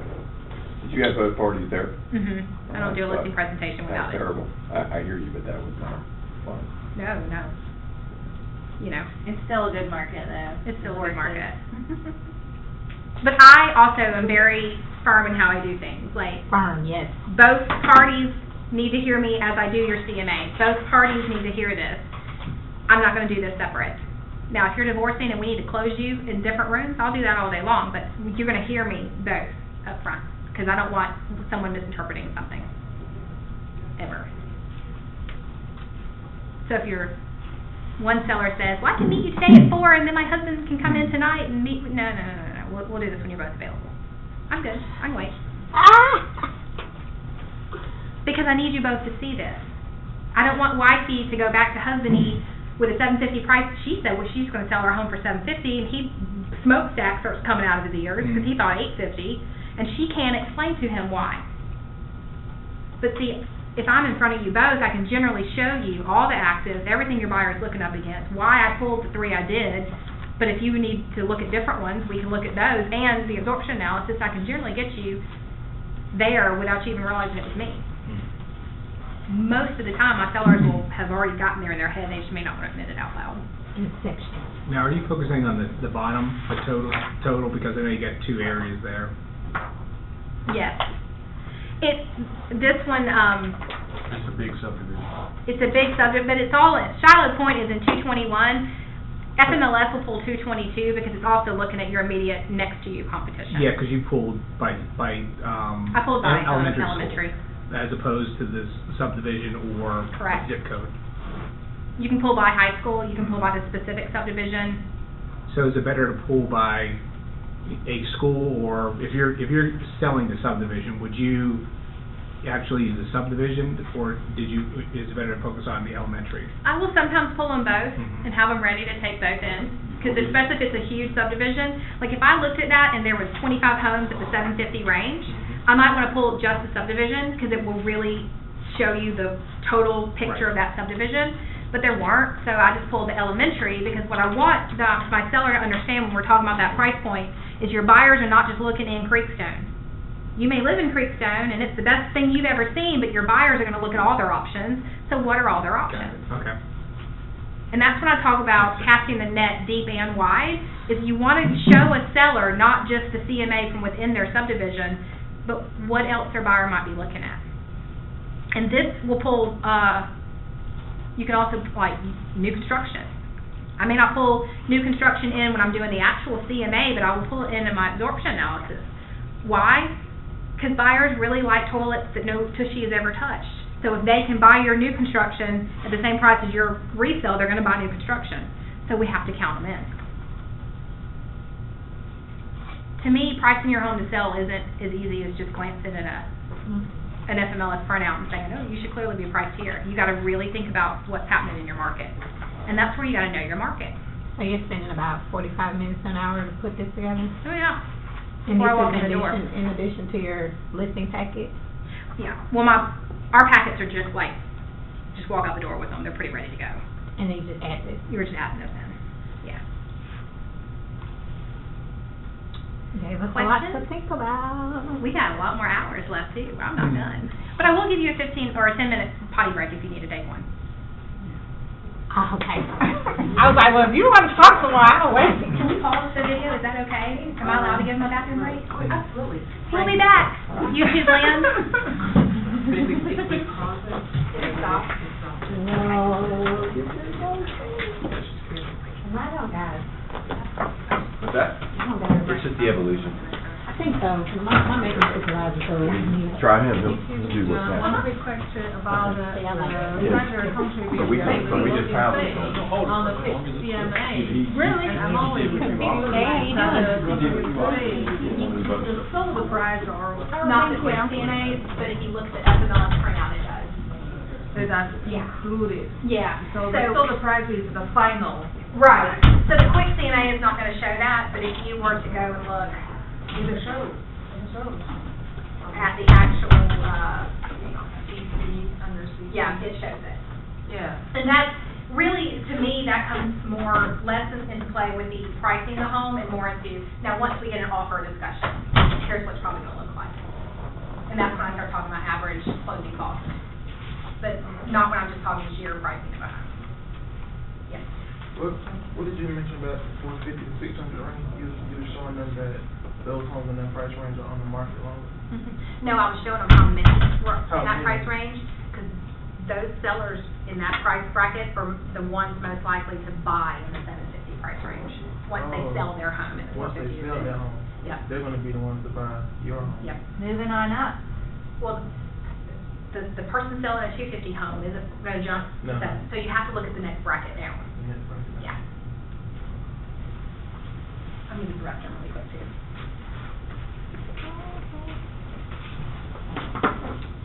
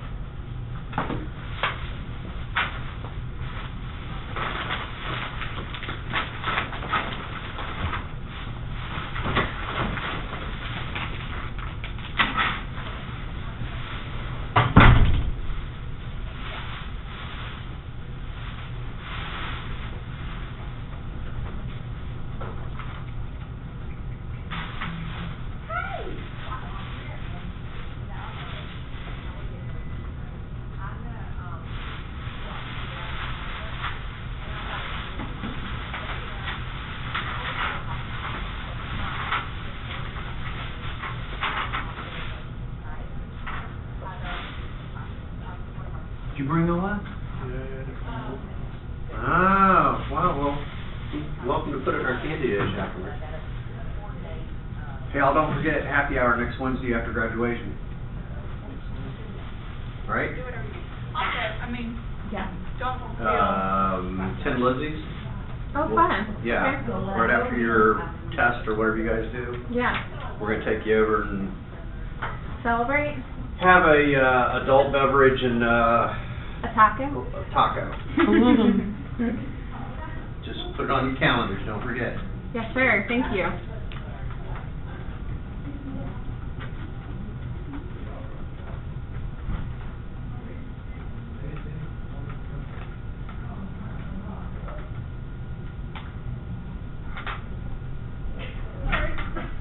Yeah, next Wednesday after test. You want ten, let's take you guys to ten, let's see. Oh, wow. For adult beverage and, uh. Next Wednesday. All right. After, cause it's July Day, right? You know, next Wednesday.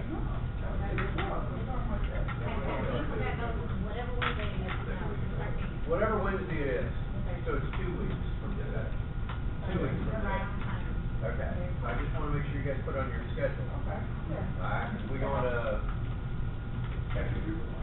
Right, we're, sorry, it's not next Wednesday, it's two weeks.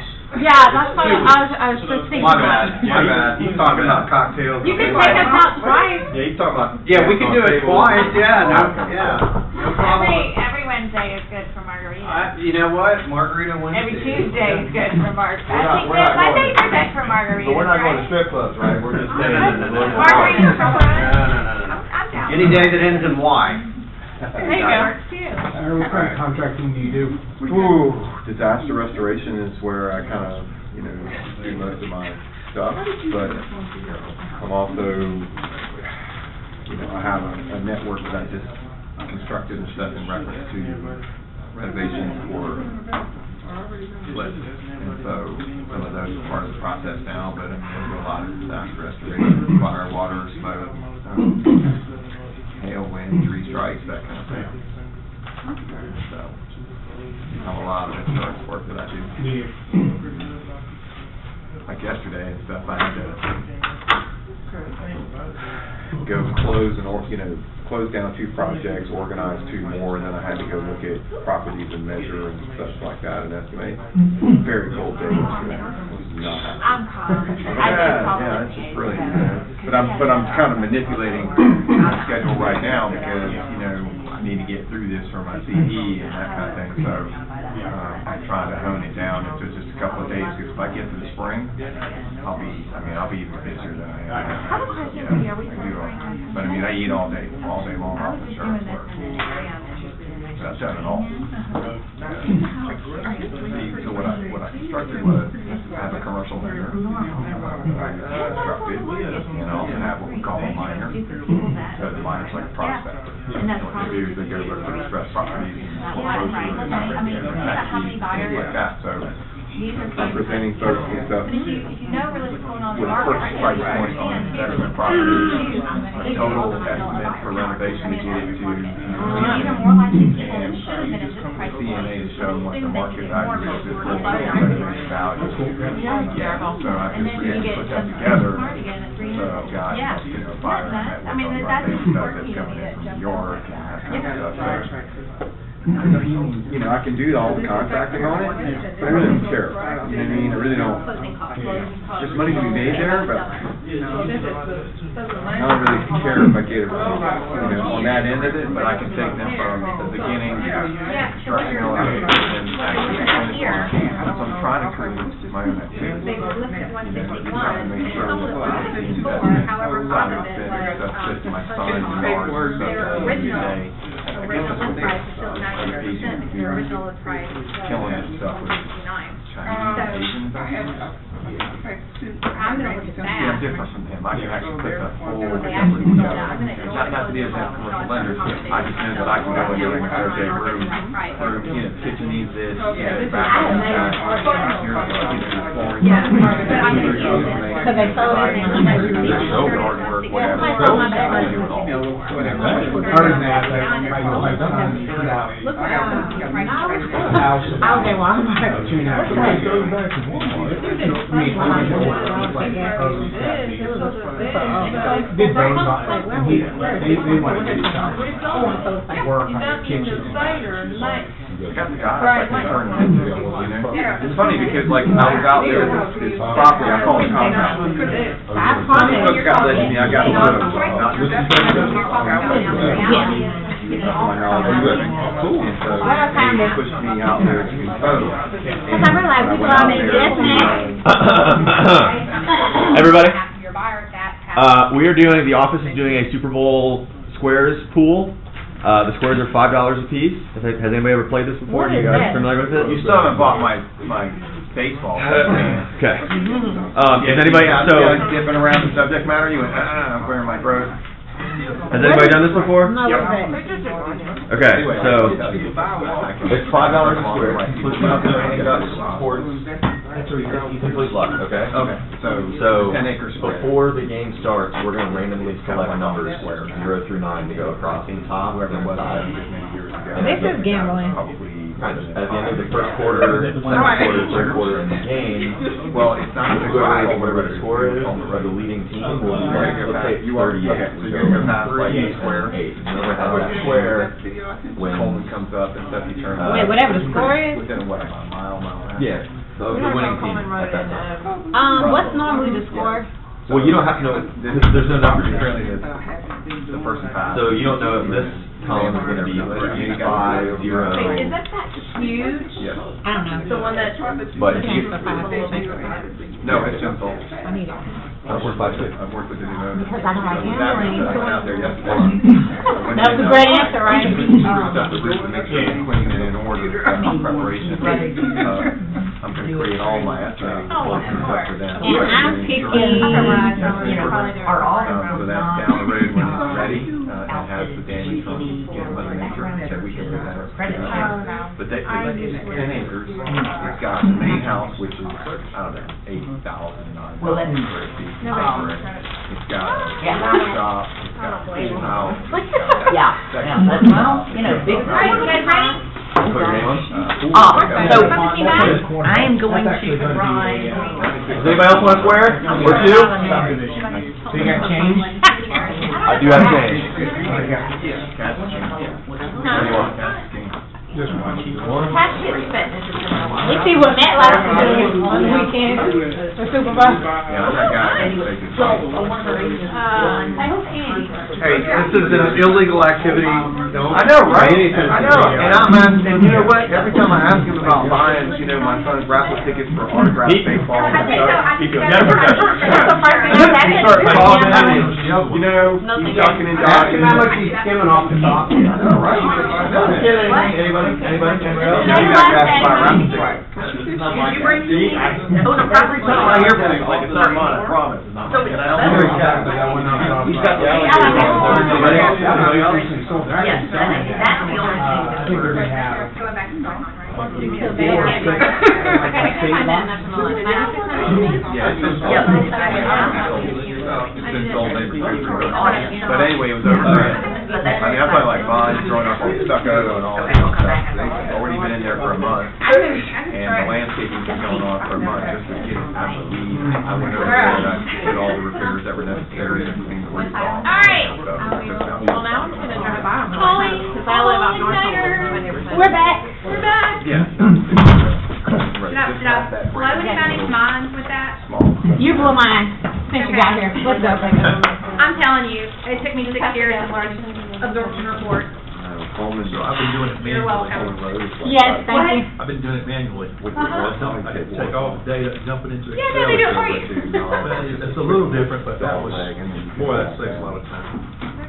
He's smart. Maybe He there's already more than one Coleman Ride. thinking about it. Maybe. Yeah, because there's another one that comes off down in, in between Pine Grove and. Except you can only go back to Right. Four. How many CEs do we need Nine. your- in your first year? How many CEs? I believe twenty-four. Is it for this, we get all our CEs from this course? You get a lot of them. Yeah, there's twenty-five. Yeah, you do. That's what I mean. No, no, no, it, it's whatever your first year requires, it gives you. I'm gonna, um, admit to you, it's been quite some time since Yes, the ma'am. first year, um, applied to me, so This class is actually thirty. I think you do get a Thirty-six. lot of your first year CE, or hmm. first four year CE, pretty much just in, in your post It's- it's Then- then you- 36. Your post licensing is thirty-six hours within your first year, and then after that, you have to do nine CE per year. It's, it's twenty-five. That's why we're already gonna have nine, Yeah, that's new. Mm-hmm, and then I have three more. Nine Email. per year, or thirty-six per. Per, per year Four rotation, years. per year Per four rotation. years. This, this wipes out I whatever tend your. find the great thing about Keller Williams is if you just occasionally show up for a free CE class, like, you, you will get your CE done throughout the course of it. Just occasionally show. Until your broker calls you and says, Jody, you need to take license law, then you say, okay, Will they allow you to cheat on the exam here? personal experience mm-hmm. there. Will they allow you to cheat on the exam? You're on video. Answer, Open book, you know, Bug, I'll give it the answer. right on, They're gonna record the exam too. right. Yeah, that kind of thing. I love it. Yeah. How about it? Okay, let's talk about some other things. How can you use some of these tools? The most important thing you can do for your seller is what? Price their home, right? Mhm. And it's not always about where they want it priced, it's about where it should be priced. Why? Because you have to get one concept through to them. Mr. and Ms. Seller, I can dictate a lot of things to you. I can guarantee you how I'll market your home. I can guarantee you that we, you know, you and I can agree on what price you're gonna do. I can guarantee you I'll do X, Y, and Z in order to put your home in front of the buyers that are out there. What I can never control is the actual market. I cannot at any given time magically poof buyers out of thin air and make them appear in front of your doorway. I just can't. It's beyond my control. So you and I are going to discuss how we're going to do the best we can to deal with the stuff we can't control, and that's pricing your home correctly. Another little script I like to use, if you're into scripting, and I hope this doesn't offend anyone out there in YouTube world, but um, I do say this all the time. So we're not used car salesmen, and even that model is gone and no longer applies any longer. We don't price our home twenty thousand dollars above where it should be and play the negotiation game down to where down to where it should be. We price it right the first time. Why? Our buyers are much more educated than they ever were before. It's why the concept of negotiating cars has changed over the last 15 years. Why? Because buyers don't just need Kelley Blue Book. They can see every insurance claim you've ever filed on a car you're selling. They can see it all. So they can on your home as well, in, in essence, with all the online tools they have available. Or at least they feel that they can. So you and I have got to agree that we're not gonna price it twenty thousand dollars too high, because we don't wanna be that home. We are not in a day and age where buyers will look at a home that's been on the market for six months and get excited. They won't. Human nature looks at it and says, why has it been on the market for six months? And, and here's something I always tell my sellers, because then, then your buyer starts thinking like this. What's wrong with it? Why did nobody else like it? Am I, am I the only one who likes this home? What happens when I go to sell it? Is no one gonna want it then too? And the minute they start down that road of thought in their brain, they're not even coming to look at your home. They're not. They're not walking in the door. So if you overprice it and you sit on the market too long, you're just causing the buyer to automatically hit swipe right or whatever that is as they're Left. scrolling, swipe left, see, I don't date, so I don't know. Um, swipe left. married up here, it's swipe left. Swipe left on your home as they go through your home on Realtor.com or Zillow or, or the Keller Williams mobile app. Let's not give them the opportunity to. We want them in the door, right? Otherwise, w- we don't sell homes not with having buyers walk through the house. So the other thing I'm also gonna look at with my absorption reports is I'm gonna pull it three months back, but I'm also gonna pull it twelve months back. Can anyone guess why I would also pull twelve months back? Show a trend. I'm gonna show a trend. You wanna stay ahead of your market. Because your sellers are always behind the market. Your sellers, by the time most of them have realized that they were in a seller's market in twenty seventeen, the seller's market was already slowing down. So, then you're walking in and you're already having to get them past the mindset that they should price a two fifty home at two seventy-five because they can't. Well, if I can show the trend of available inventory rising in their price point, I can get ahead of the fact that it's just gonna keep rising, and it's gonna help me price them where they need to be, and it can help me in black and white show them why. Especially in that price point, four fifty or lower, where they do still think they're in a seller's market. Especially in that two to two fifty. They're gonna look, Kat and I were just looking at this, they're gonna look at you and say, no, no, no, no, my home should be two sixty. Well, there's no, there's no inventory. I have finally been reading online and there's no inventory. Well, guess what? By the time they read that, that ship has already sailed, folks. Because they're just now catching up to what we do every day of our lives. Because the only time they ever go look is what? When they're thinking about selling. So if you can show them 12 months back, what you're going to help them graph out is the line of inventory going up in their price point. And the more homes on market, the more you are competing. But you're not showing a graph of this. No, I mean, you can, but I'm just saying why you would pull it back twelve months and kind of walk them through that, that process. I will walk through my sellers all day long, what happened three months back and twelve months back. Because I want them to see if we've stayed steady in our months of inventory, or if we've risen, or if we've, if we've lowered. That helps me get them priced right the first time. Not six months down the road, when I don't even want them as a client anymore. And it, again, when you put it black and white, they have a hard time arguing it. Another thing I would point out to you, don't walk into a listing presentation not having pulled up their estimates. Don't. I know, we have a love-hate relationship with the almighty Zillow. It is what it is, folks. They have gotten the attention of our consumers. Pull up a what? Zestimate for Zillow. That's all they can see. It's all they They see. It's what they have. It's what they will use to refute your CMA and your absorption analysis report. Okay? How do you use a estimate? If you're gonna pull up a Zillow's estimate, and you should, because that way you at least know that there's a chance your seller has looked at it and that's what they think their home should sell at, you can use it in a couple different ways. Anyone imagine what those ways could be? If it's different, prove it wrong. Yeah. Figure out why it's wrong. Or here's one of my favorite They ones. show the comp. Hey, congratulations, your estimate says seven hundred and I'm gonna price you at seven fifty. Rockstar! Or you already know walking in, they've probably seen his estimate for nine fifty and you may or may not have a hard case on your hand to convince the seven fifty price point. It, it helps you get mentally prepared for what you may encounter walking in the door if you know what they're seeing. And the truth of the matter is, they've looked. They may not tell you they've looked, but they've looked. And in that scenario, would you print out that article about the The CEO that sold his home at forty percent below his own Zestimate? Yes. Or do you pull, do you pull those estimates for the your three comps that you brought in? No, I just wanna know this estimate in my head so that I know, so like you Where said, if they're they at. start saying to me, no, we should price it nine hundred, I kinda have an idea maybe where they got that from. It, it just kinda helps, you know, 'cause you have to assume that they've done their own research.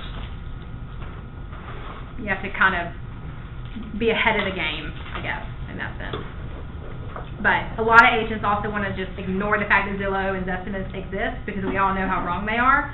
And I think you shouldn't ignore it, I think you should just be aware of it, because you can use it to or, to your advantage sometimes, and, you know, get, you know, help you build your case better.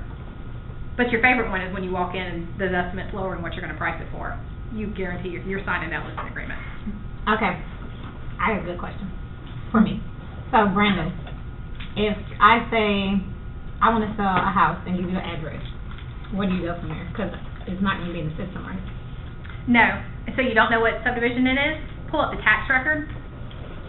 Do- Y'all know how to do that? From where? No. Okay. That's a good starting spot.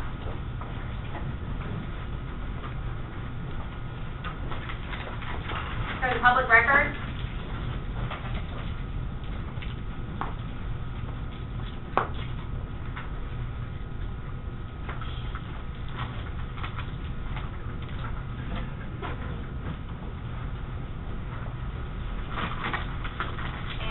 luck. So if you don't know anything about the property you're gonna go look at, you don't even know what subdivision it's in, you can put the address in, does anyone have an address? So where did you go, I mean, where was that? Matrix, Okay, public records, Okay, and got then it. Realist. Matrix. Go to, um, one, one eighty-four, Great and New Hope Road. Is that Gonna one word be- or? New. Well, Like that? it's gonna be two separate words.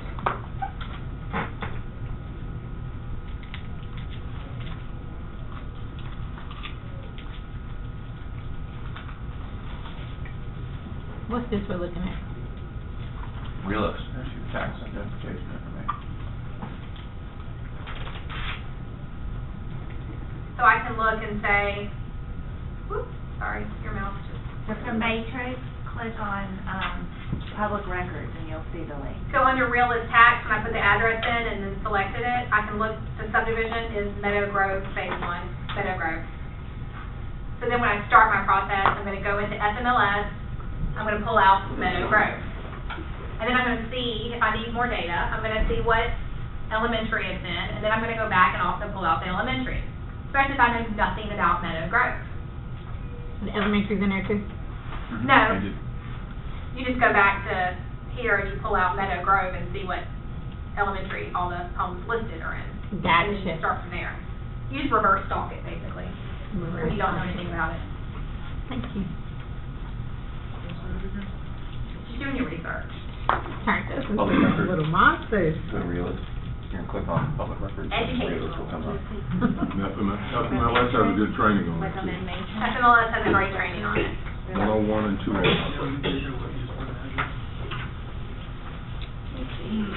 So if a property is priced too high, um, how Let me long? go back to something. Because you don't want to seem desperate when you're trying to lower the price, so what should the process be for, you know, lowering the price to where it really needs to be? So the question is, if the property is priced too high, what's, what's the, the way to go about lowering your price? Well, you have to decide that for yourself as an agent. And I know that's not the answer you want, but it is. A, how, how far above where it should be priced is it? Mm-hmm. If it's too high, sometimes it's better as an agent to not take the listing. Painful as that sounds, it is very, very true.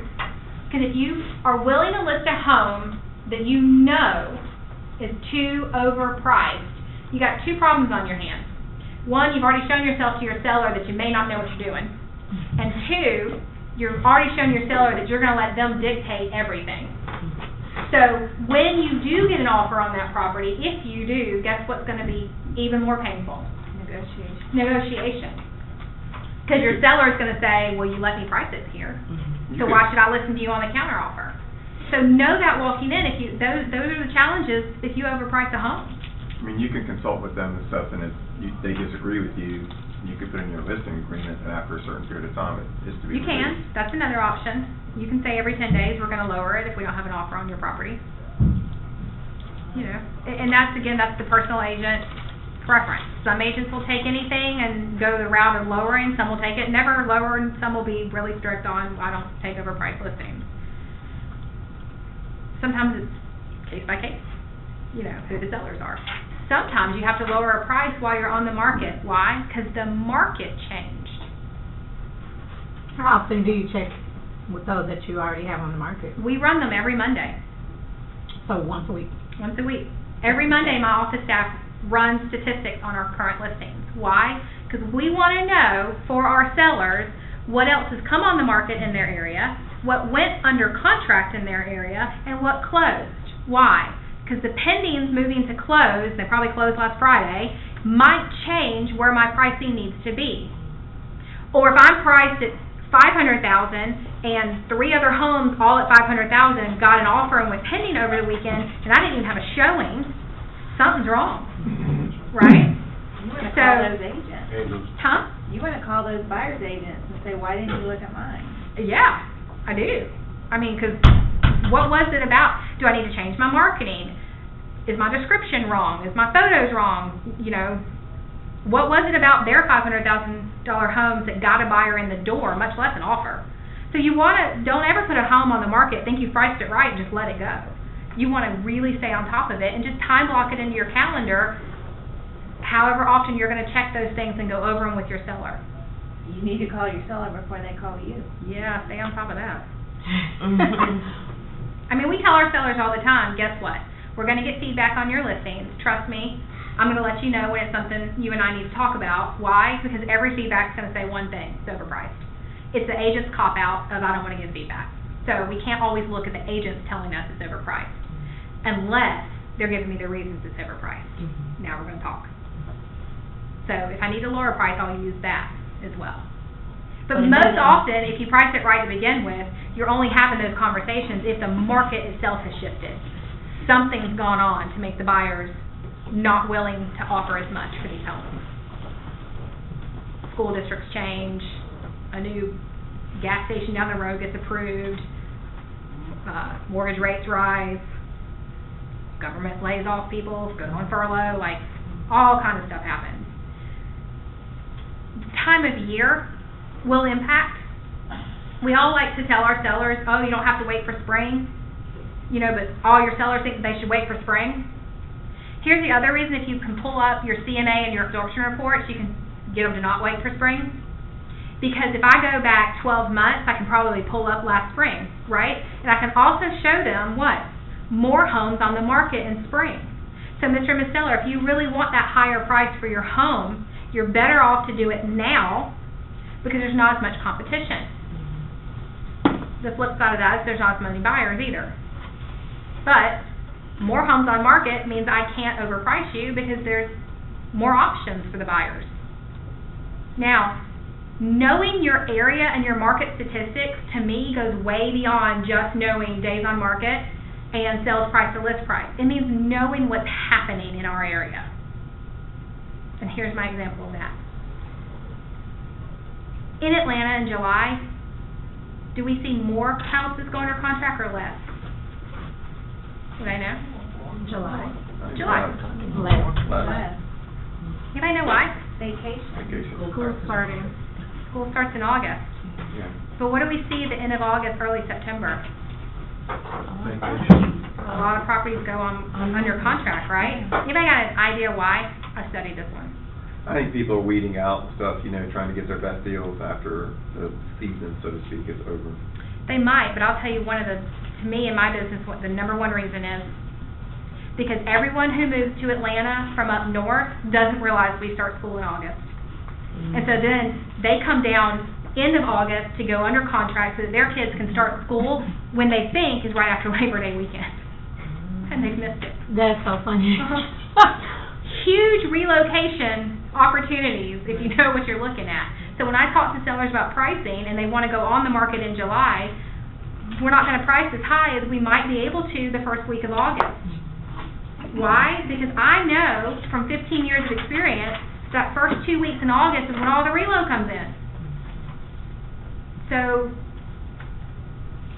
all my people who live here that want their kids in the school zone before school starts, they've already put their offers on the market in June, they close in July. And so in July, you don't get as many buyers out as you do the first few weeks of August. It's reload, it's a reload cycle. Same thing happens, guys, for every agent out there that takes December off and November off because the market's slow. I love y'all, I pick your business up every year because the same thing happens. The people here may not be wanting to move because they just put their tree up, they don't want to pack their tree up, but what's happening? Big corporations are moving their CFOs, their CEOs, and their key players in their companies. And they're going to move them in January because the start of their fiscal year is a lot of times happens about January 15th. So if they're going to move you in January because you're a big wig at a company, guess what you do on Thanksgiving break? You come down here and house hunt. Yeah, I'm busier right now than, you know, I have been during the other months of the year. Yeah. And a lot of it's because those companies, you got to go off company fiscal years. So when you know things about our area that we live in, and you can talk about those things with your sellers, does it help you in your pricing strategies? Yeah, it does. And again, you just became way more experienced than that Palmer House agent out there. Because they don't get that education. They don't know to think beyond the quick CMA and FMLS. If I know that a new school is opening, and it may attract or, you know, it may cause a small ruckus amongst my clients, I might advise my client to wait eight months and let's see what happens. That recently happened where I live. They opened Denmark High School. Now, I know in Forsyth County how great our schools are, and I know that Denmark was not going to be a problem of a school. In fact, it's probably going to be where you wanted to move into. So I counsel a lot of my clients out of putting their home on the market because they were in the new, new school panic. Well, guess what? Now they've all put their home on the market anyway because they can probably move up and get a more expensive home because now Denmark High School is really sought after. But the panic wave happened when they announced the Denmark High School because you get parents who are like, no, my kid's always going to South Forsyth. They have to stay in South Forsyth. So you have to kind of know what's happening in the area you're selling in because you have to know what the buyers may be thinking. It will dictate the pricing of your home. Knowing your trends. Is gray and white still in or is it on the way out? What's coming in? What are our buyers going to be seeing? We heard navy blue and gold the other day. Gold's back in, God help us all. I hate gold. I do too. I just got rid of all of it. Now it's back. If you are a newer agent, or, and pardon me, I'm gonna make some assumptions here, you're a guy, and you have no clue what color schemes are popular right now because you don't pick up the magazines, it doesn't interest you at all, no offense. But, I mean, it is what it is.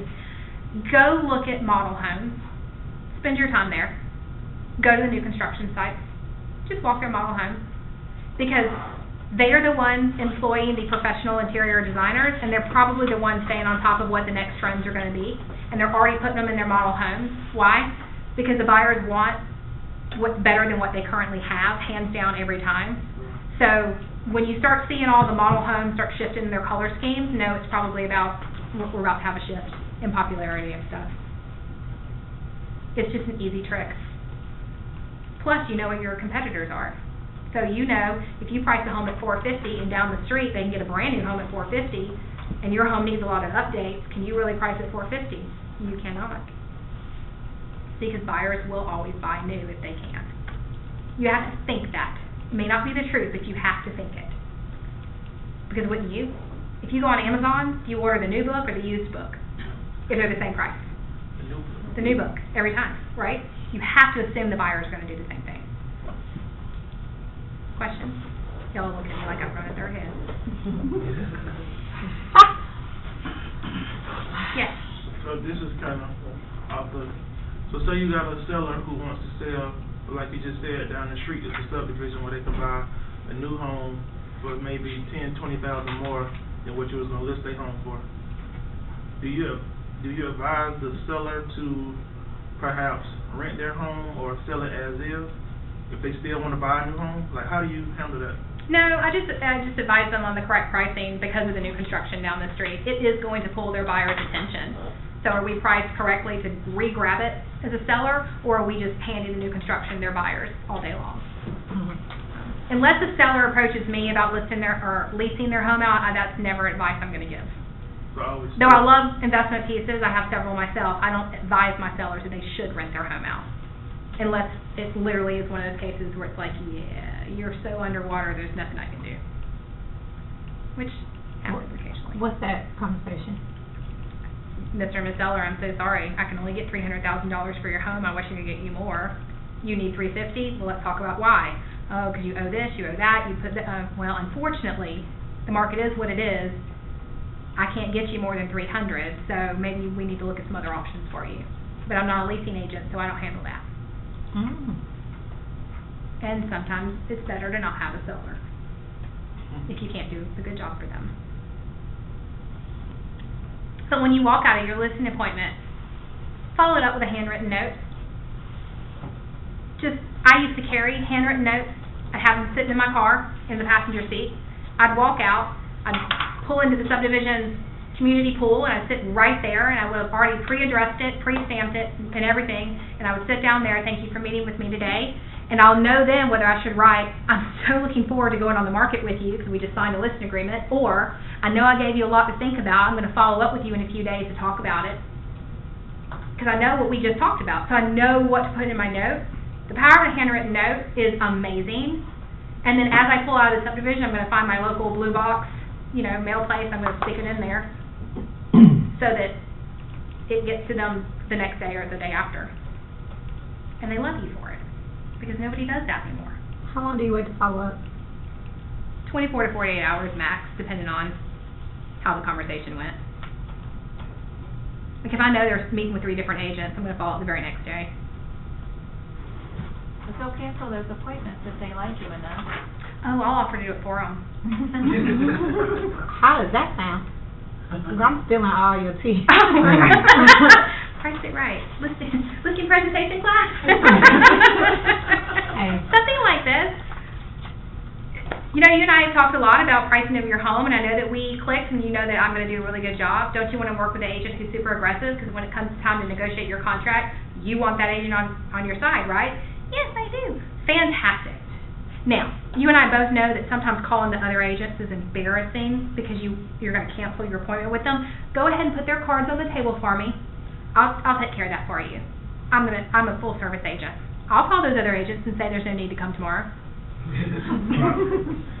Full service agent. I don't want you to be embarrassed, put off, or inconvenienced. I'll do that. And no big deal. Here's the listing agreement. You work on that. I'm gonna step outside and call these agents.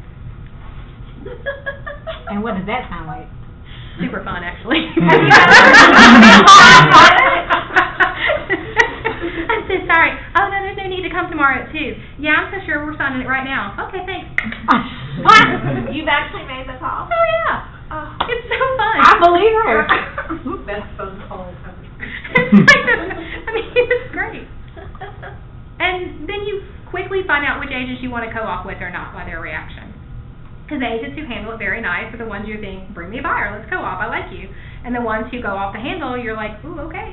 You know, you're one of the eighty-four thousand. I mean, you're not mean about it, you're just being polite, Saving time. saving time. Okay. Hold on, let me re- get You got another question? Let me get it back. All right. Get it back. Anybody else have a question?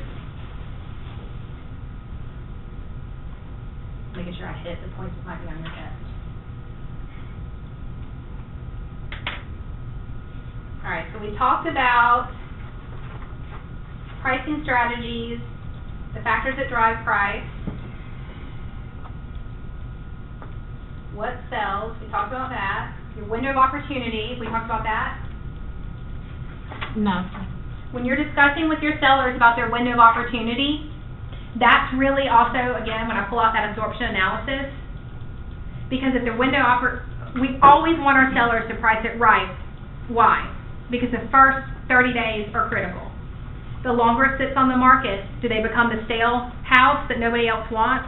Do we create an environment for buyers to say, well, why didn't it sell in six months? Am I the only buyer who could possibly like this? That's their window of opportunity. I also tell my sellers two things. I need you to understand this from a seller when we go on the market. This, these are the two things that are going to happen. I'm going to put you on the market, and in the first weekend, you may or may not get an offer. If you get an offer, that is super fantastic. It does not mean we've underpriced your home.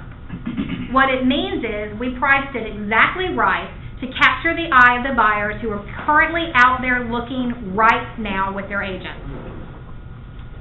So I, I need you to know ahead of time, if you get an offer within 24 hours, it's not that we're underpricing, it's that we are capturing the buyers who are right now looking.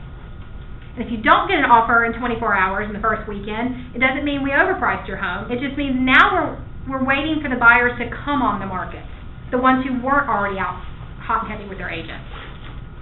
And generally speaking, they'll either get the offer on the first weekend or it might take whatever your absorption analysis says it's going to take. But if you show an absorption analysis to a seller and it says there's eight months worth of inventory and they get an offer in the first eight minutes, they're more than likely going to think you underpriced their home. So go ahead and have the conversation about window of opportunity means if we price it right now, we're capturing the buyers who are right now in that eight month cycle of inventory, but they are right now looking. But they didn't know your home was on the market. And we didn't know they're out there. Otherwise, it might take a couple of weeks. It might take this full eight months worth of inventory that your absorption analysis shows. And we have these conversations right up front. You're setting expectations. The more you set up te- expectations, the more you can dictate the price of that home. What if they're trying to sell investment properties that someone's in? How does that work? Like a rental that someone's living in, Mm-hmm. that's a whole different ballgame. You still gotta price it correctly. But now you're talking about showings with renters in there, and that's, that's a whole cotton lot of stuff. I told, I told my clients to get the renters out. Yeah, I mean, it's mm-hmm. way easier. You're not being rude, it's just, renters have no motivation to show that property in its best condition. Yeah, matter Or to of show it at all. And they mm-hmm. love to make up stories. And they Well, they like to love linger. to stay at the house while it's being shown, because at the end of the day, mm-hmm. I mean, they, Or change the lots because they don't wanna move. I've seen that happen before. Mhm. We couldn't get into a house to see it because they changed the lot. Yep. They start talking about mold and crazy stuff. hear all kinds of stuff. It's all kind of fun. Hmm. The other thing I talk to um, my clients about when we talk about pricing your home is a lot of sellers will look at you and say, "Well, my home's luxury because it's like seven hundred thousand," and I'm like, "Well, in Atlanta, that's not luxury. That's like average." Right. Um, you know, and so sometimes you have to pull what's on the market and what's gone pending in the entire area that they're in, which to me includes the high school. Now, now we've cast our net a little bit wider, the high school, to show them that while they think they're in the top one percent, they're just in the top like twenty-five percent. Because another thing that you're doing when you're pricing them correctly and setting the expectations is also alerting them to the fact that, you know, we're gonna put your home on a super E key and agents are gonna request a showing, but you need to do your best to be, you know, have that home available for the showings, but please don't expect that you're gonna stay at your home or that I'm gonna necessarily be there. At two point something million, yeah, I'm gonna be there every time. But at seven hundred thousand, I'm gonna trust that those agents know what they're doing.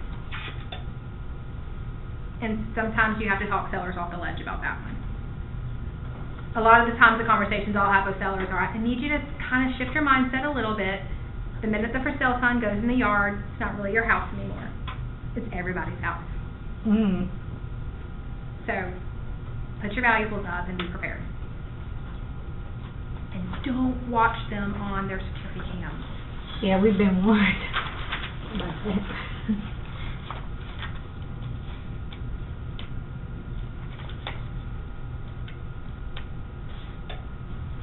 Alright, so what I'd like to do is for us as a class to pick a property, if anyone's going on a listing appointment, or if Catherine, if you, Kathleen, if you've been on one recently, and I think as a class, let's put the subject property up, and let's pull the subdivision up on FMLS, and then y'all take ten minutes to pull up what you would use as a CMA with your seller, and then let's discuss it.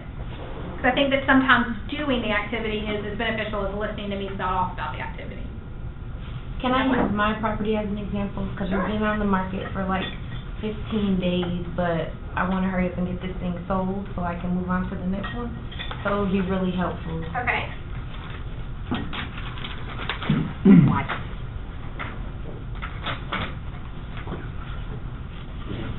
Why is it old? Right? I was thinking that. Okay. All right, what's the property? One five Do I have to?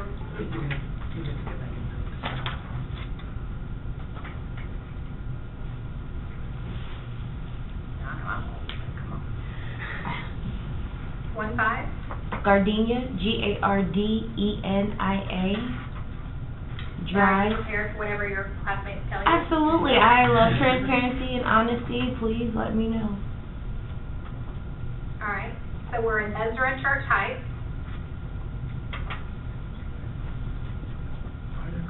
I'm sorry. City and zip. Atlanta, Georgia, three zero three one four. All right, so we're gonna look up Ezra Church Heights. In the city. Change it to ninety. I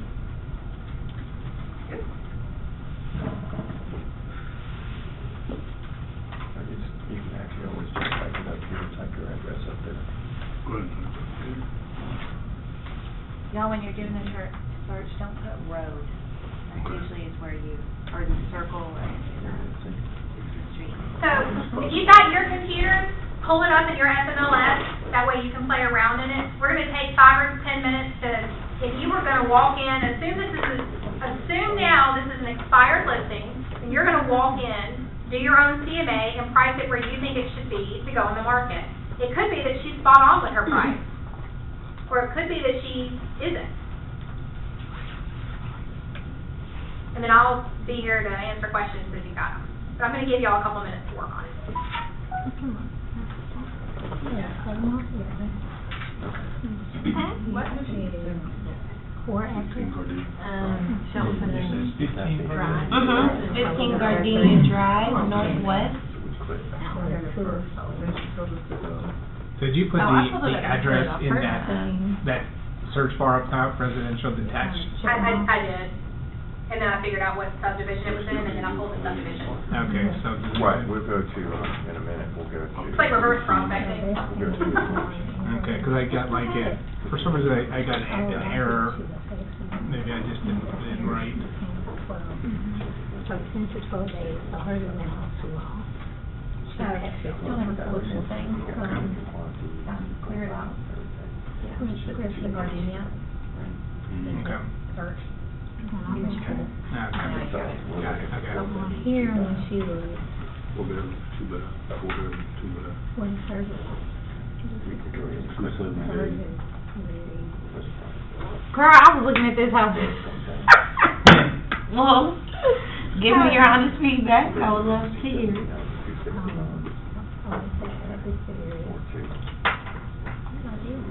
Four two. Let's go. Let's give y'all thirty minutes. I will. Go. So the kitchen, So, the ceiling. back. Or is that a sale? We're looking at Kitchen, the bathroom. Mm-hmm. Okay. I'm gonna say what it is. Let's say. yeah, that's here. Oh, yeah. Let's go back, go to one was it? Oh, Yeah. go back the the?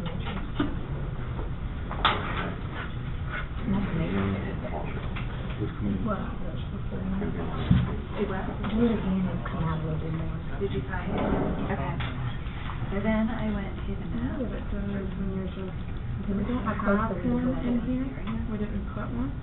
Um, but we just said that. All changes that were from my location. Oh, and you did a work. When I told We you checked the about file. the church. Short of search, right? Let me check this out. I did it again. I just called X and the church. Yep. So it didn't get more. Like, I mean, this is hers, right? This is hers. Look at, look at her finish. This is. That's why I wanted to Okay, figure out. Zero well. Um, property. Okay, so that's new, this is a lot.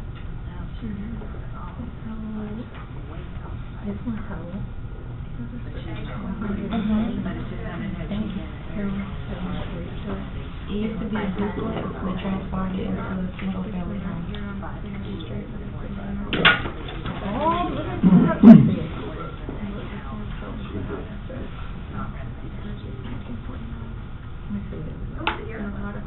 Yes. Yes. Say one more. I- I'm, I told y'all, I am ready for whatever y'all have to bring. I just want to sell this so I can move on to the next property. But I don't want to seem desperate by like lowering the price dramatically. Right. Would you have just left it crappy because we wanted to tear? This one, let's see the other one on the street. What's the criteria? And type the address. Type it. I think it's fifteen.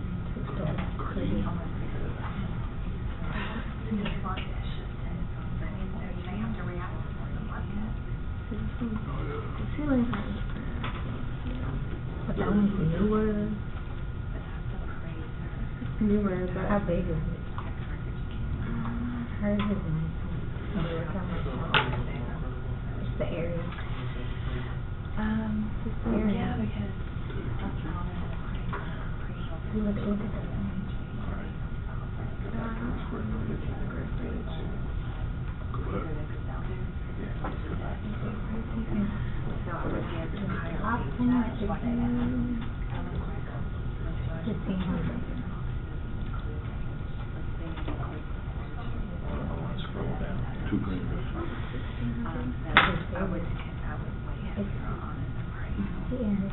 There's no scroll down Down here. now. Yeah, but the other one. So it's only for a house. So you need to figure out what the difference is. Okay, now we can go you finish it, you know, the kitchen, I'm pretty sure the deck had what's on it. Yeah.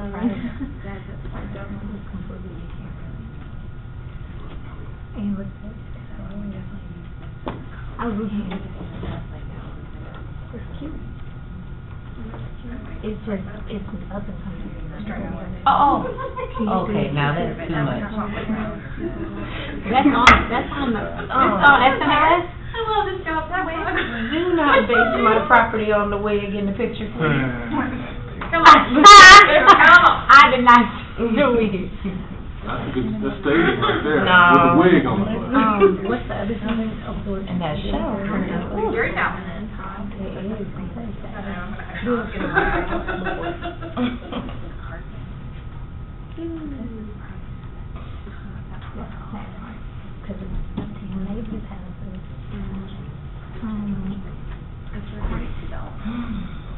You're so great, I got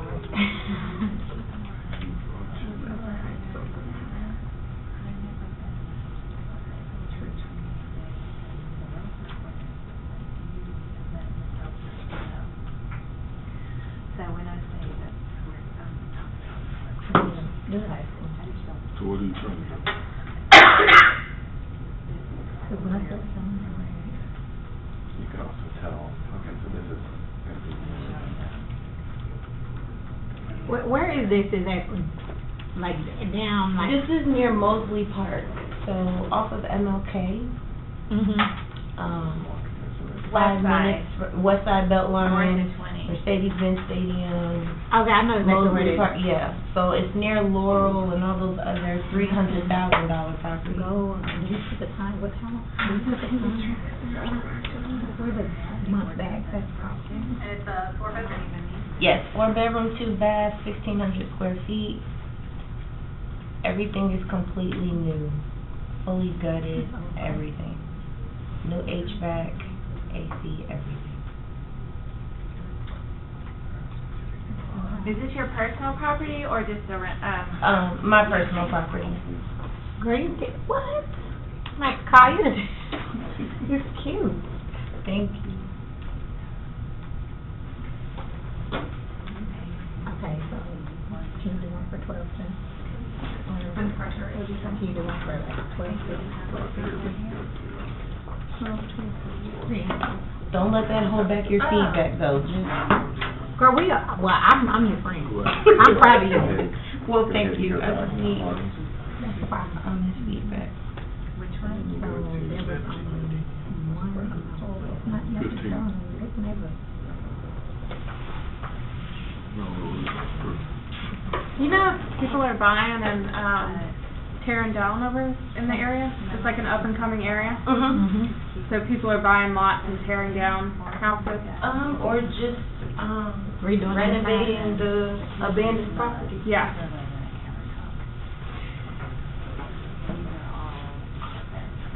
This was a great case study, and it's so realistic.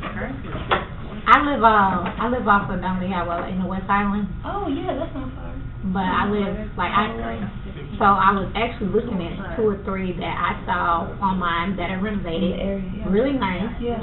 But the thing that person turned me off was the neighbor's house. And that's the, yeah. That's what, I mean, I drove to look, and then I was like, no. No, because the neighbors. And then I was nervous even to go look in the backyard, but I know the houses are beautiful on the inside because I've seen them. Countertop and the white kitchen. That other kitchen. The comps are just all over the place, so I don't really. Because it's up and coming. Messed it up, didn't it?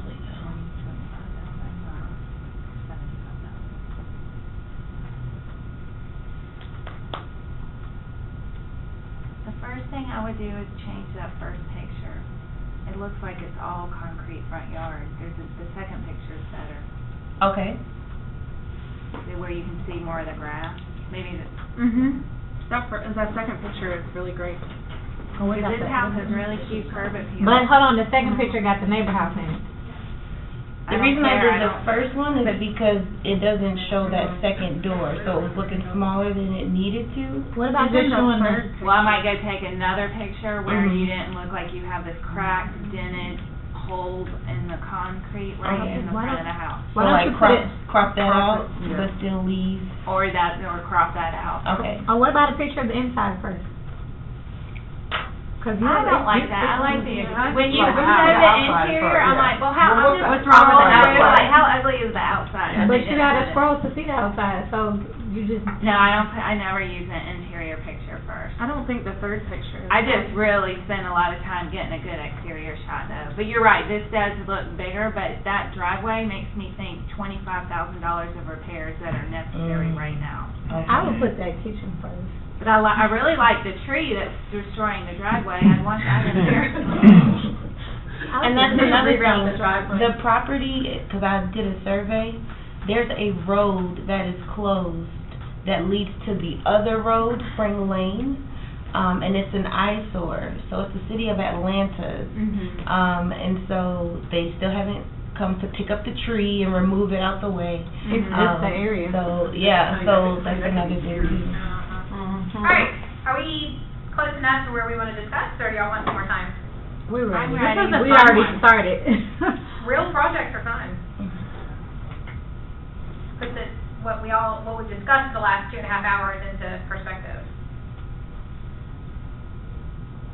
and realistic because this is where I think a lot of people are trying to target those up and coming areas, and that's where a lot of the investors are too. Mm-hmm. But how do we even sell something with the neighborhood, even though we see more construction? Because I walked to a neighborhood to look at one, and it was like four more that they were working on, but I So that's where knowing your market makes a difference on your price point. If you know what's happening around you, you can talk realistically to your sellers.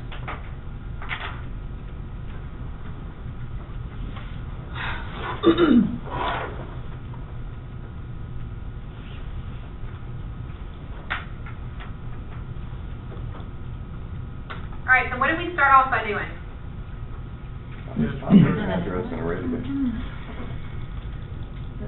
This is the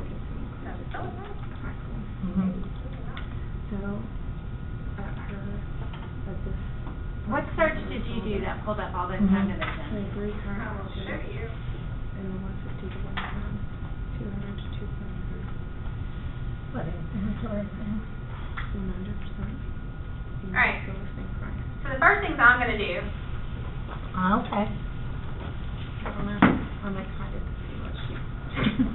Right. why am I only getting one? Oh, Those are traits. forgot I did all that. Oh, yeah, we can see that she's property detail. Hmm? She's a property detail. We get comps in the area after she moved. Oh, for that last one. What's the first thing your gut tells you? The next house, which is very similar, is probably sixty thousand dollars less almost. It's overpriced. Next two. So the question is how much? So this is the conversation we're gonna have with the seller. Chances are we priced there because we pulled some comps, and I can tell you what comps she probably pulled. And I'm gonna have to disprove why those comps don't apply. And they put a lot into it. They clearly renovated it, looking at the photos, right? Like it's gorgeous inside. Mm-hmm. And she's one of the few houses that's staged over there. Mm-hmm. Yep. Mm-hmm. But when I start to look at it, one of my big clue right here is current price per square foot. If I look at hers at hundred and fifty-four versus the sold ones are down in the sixties to one eight, or to eighties. Now, what I'm gonna first do is look, I'm gonna look at that one oh seven. I have a question. Well, one oh Do we feel like maybe because the area's up and coming that people don't wanna buy a renovated house, they want a house they can tear down and There's build? a good chance of that, and you have to take that ran into into that consideration when you're looking at the current market of what you're selling. So if I'm gonna pull this up, I'm gonna look at it and say, well, okay, that needs work, still needs work. You could put your TLC. Not much. Forty-five minutes with a bulldozer. I wanna know what your And the house fact that looks they like have no before. interior photos tells a story on, Mm. unto needs to be itself. torn down. So, now, if I were gonna be very, very generous, I would say, well, then if I look back, renovation started with framing and electrical. Handyman special. If William Free says work is done. Oh, boy. No, give me the results. So if I look at that, and they managed to close it at $66 a square foot, and then I look at the $96,000 one. No. That's old. It still needed some renovation, Mm. but maybe at least had an interior. And they closed it at 82. Even if I'm generous and set and double the $66 a square foot, I'm only coming up to about 120. Which still puts me overpriced at hundred and fifty-four dollars a square foot. You can start there. That gives me a, a frame of reference, right? Now, to me, I don't have enough information here, because this little subdivision has got everything from needs to be done to done. Hmm. Well, that's hard, that's not apples to apples, and that's really hard to compare, right? So that's when I'm gonna look, and I'm gonna say, well, what, can I get enough information out of my elementary school district? I'm gonna take out the subdivision, I'm gonna pull everything in the elementary school district. hmm. Now I've got seventy matches that came up. Well, seventy's too many, I don't want seventy. So, the, the house in question was four bedrooms, two and a half baths, so I'm gonna say No, two just plus. two. Yeah, it's just too bad. Oh, it's just two baths. Mhm. But I wanna see, I wanna see the ones that have a little bit more.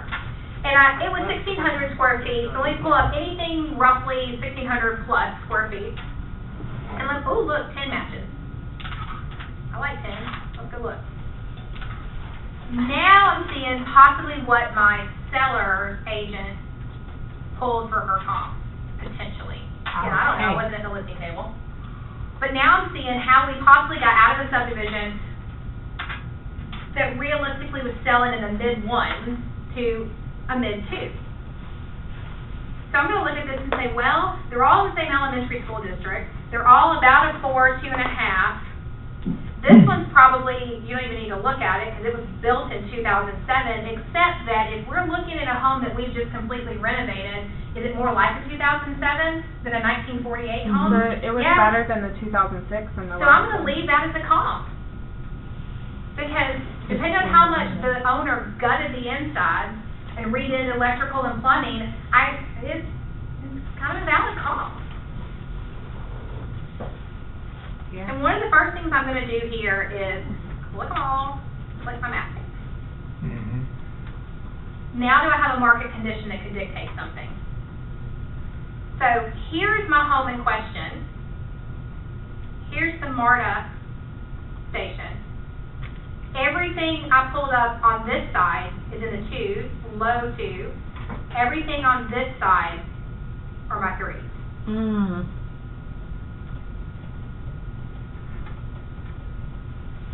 Did the people in the surrounding communities just dictate price points? Yes. Yeah, they did, unfortunately. Because what this tells me is, on this side of MARTA, my homes go for this price, and right now, currently, on this side, they're just not getting that. They may get there, but they're not there yet.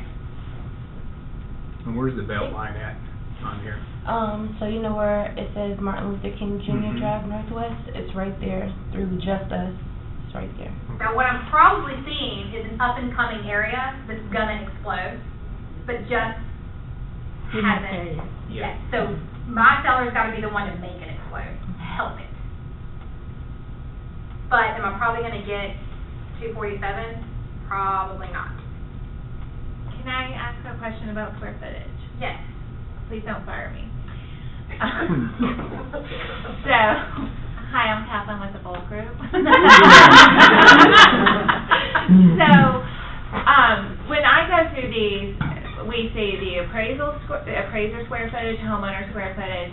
I know that in Georgia, we don't have necessar, or we used to not, unless it's changed when I wasn't looking, like, one way to calculate square footage. So I don't obsess about square footage, and I tell my buyers that too, like, you can't, it's not, like, price per square footage isn't No, one it's not a hundred dictator. percent. No, it's not. It's like a, kind of your, it's really what your estimate's going off of. And you're, when I you're pull it looking up here just because when I'm looking at a subject property that is really interesting, because there's just no clear-cut way to price it, I'm gonna start looking at other factors. Well, what, what did the market say they were willing to absorb at a price per square foot? Now, I'm not necessarily gonna pull up my absorption analysis on this one, because you're, you're looking at a different type of property. You're looking at a fixer-upper that was fixed in a fixer-upper neighborhood. So the, the available inventory is not really accurate. Does that make sense? Mm-hmm. Yeah. All right. So I've had um, some buyer clients and stuff, and the aha moment came within the last couple of weeks about this scenario. And so she cannot, like you just suggested, go through the traditional route.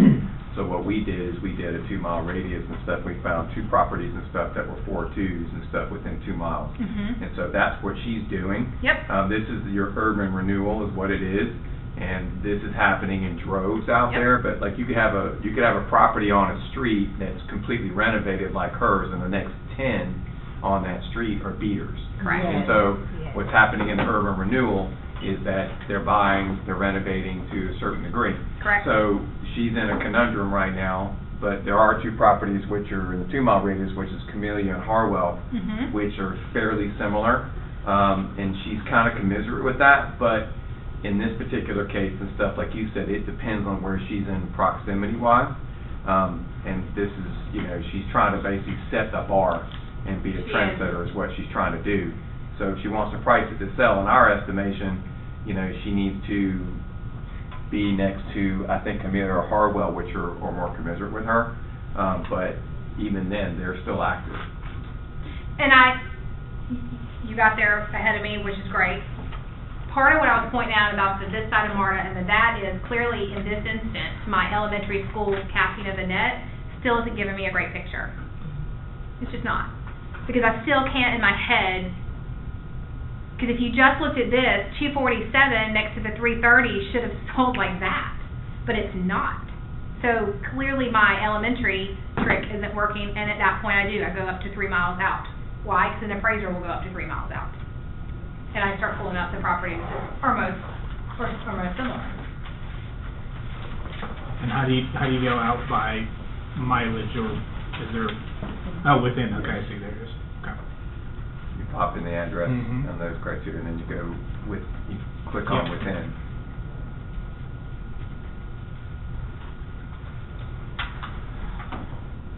Three miles out seems so far when you're in an in-town neighborhood like that, to me. And Chickamauga was right around the Well, corner. if, if you went to visit, you know, there in No, that I'm area. very familiar with that neighborhood. In town, I would never have gone. I Yeah, would 'cause go I like got a half sixty-seven mile. matches, so Yeah. that may be too much.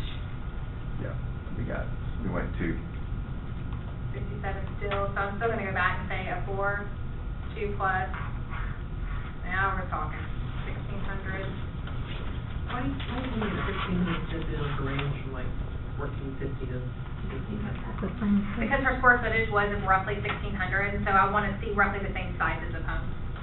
You're not gonna put in anything smaller. Mm-hmm. No, people will always buy up.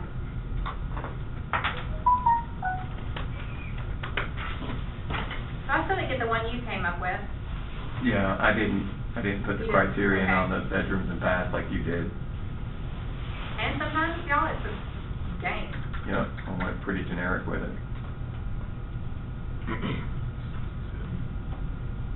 And at that point, you may wanna start looking through all the photos and just checking them out. That's what we did. Which one did you like? Chickamauga? Uh, yeah, we looked at a few of those.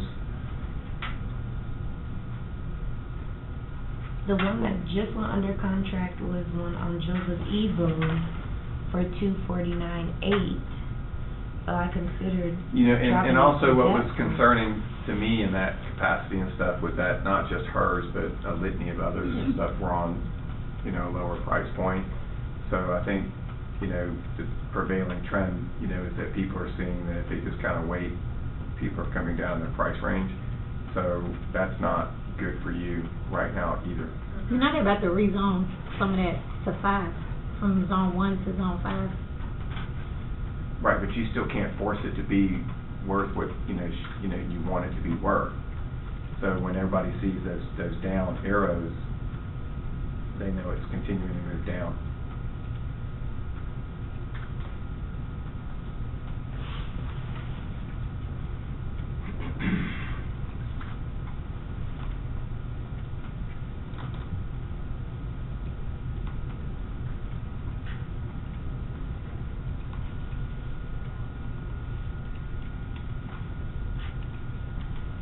exists over there, like in that English neighborhood?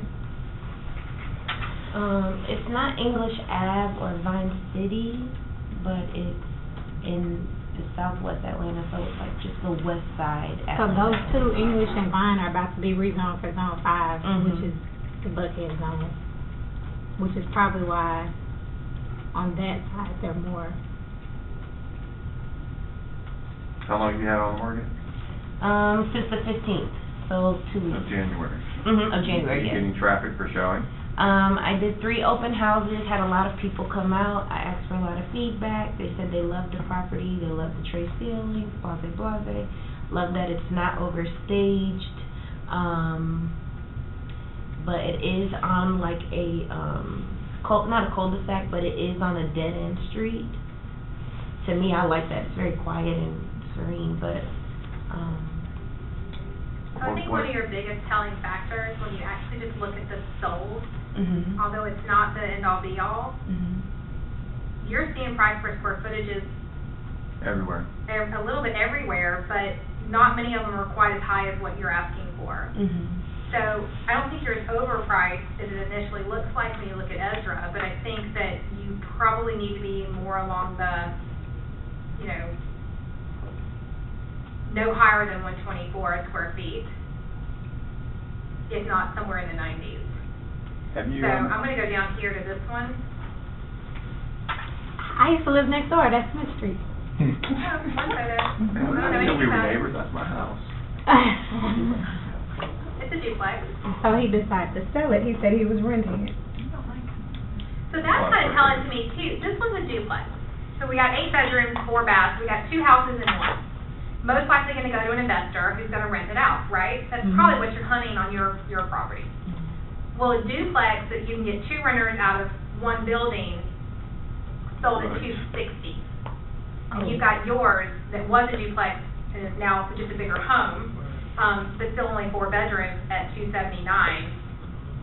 This is kind of what the market said an investor would be willing to pay for it. So if you want to capture both markets, an investor and a poss, you know, possible homeowner, I, I don't think you can be above around two sixty.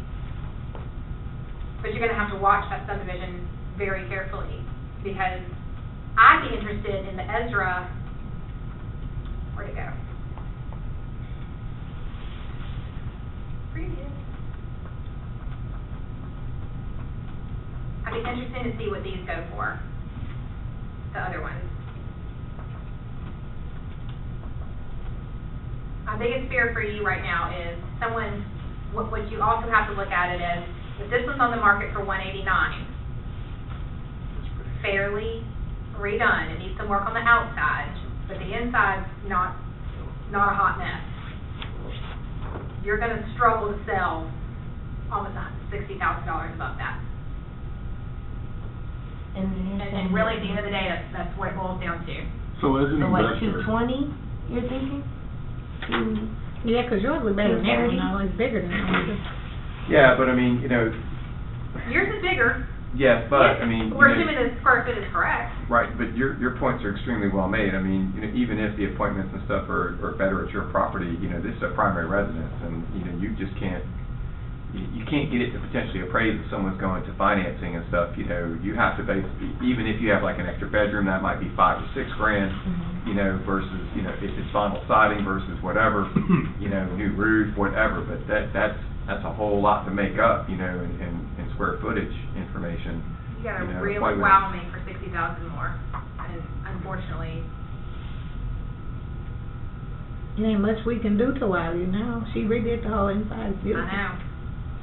Unless you buy the rest of the houses on the oh, street. She did a really At- good at job what with the point- exterior. It did. Yes. It really did. Really. The exterior's cute too. But I think if you took this one and redid the exterior, so you added another fifteen grand to it, you're looking at the same, in a buyer's eyes, you're looking at apples to apples at that point. Yeah, this, this, and this is what somebody would anticipate as a primary, it's not necessarily, you know, I mean, if you're gonna be at two fifty, it's a primary for someone, so. I was about to say, I'm looking at mine as a primary, not for an investment. Right, right, so that means the stuff that what's next door to you or two houses down, you know, mm-hmm. has to be, you know, hunting for that as a primary. And, and that's, you You know, also have to take into mind, if the rest of the subdivision is duplexes, mm-hmm. and they are a large investment pieces, you're also hunting that person who's willing to have their primary in a subdivision full of rentals.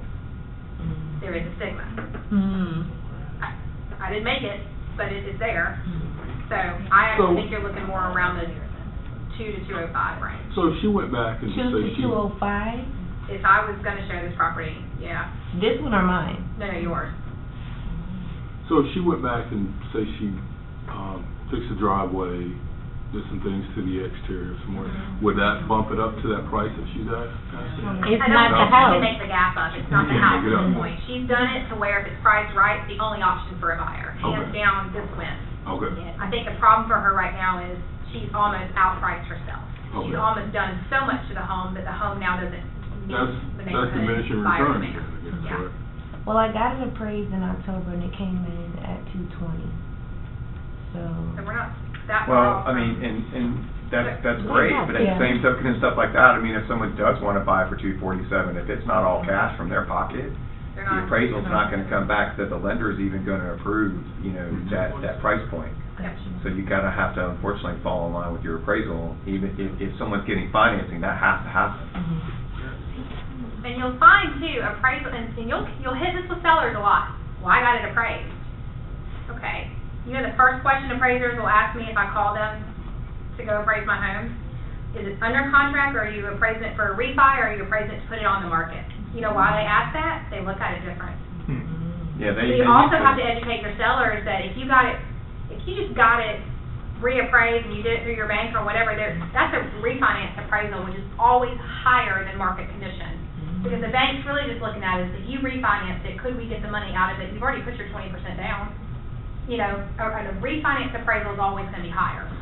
And, and with your tenure in the real estate industry and stuff, is, is it, is it, and I seem to remember this from years past, it's no longer the case that appraisals are coming in and in unbridled honesty, they're, they're trying to structure towards the deal, um, actual Well, they dollar can't range. go a certain amount above the, um, Right, contract 'cause it price. used to be and So stuff even like- if the appraiser can get two fifty, if you're under contract for two hundred, you can't go more than like three percent above contract price. Right, 'cause I, I remember it used to be, Because they, they. the FHA, I mean, the Fannie Mae will. Right, it used to be, I thought that appraisals come in and, and sometimes at the closing table, folks would get, you know, instant equity, you know, positions Yeah, and and they stuff in don't their pocket. anymore. And, and they stopped that, so. Yeah, that's a government issue, and Yeah. it's because of the downfall in, um, a couple of years ago, they're trying not to let appraisals go too high. So what would be the process to drop it all the way from two forty-seven to two oh five? You just Without gotta- looking desperate? You, I just change This that, is that's a all good that. case study. The only people are gonna remember are the people that saw it two weeks ago. Yeah, you're, Oh, okay. you're hunting a whole different pro- buyer now. Okay, So if gotcha. you're only gonna drop it five grand, Mm-hmm. and you're gonna keep dropping it five grand, and Mhm. keep dropping it five grand, you're hosing yourself. If you're gonna take that kind of a drop, then you do it, and you just do it and eat it. Okay. Um, I just don't want people to think there's something wrong with the property because she dropped it this far I- down. I would say, you know, I mean, you put the private remarks for agent, Mhm. you know, learn how to price my home. Yeah. I mean, Yeah. whatever you want.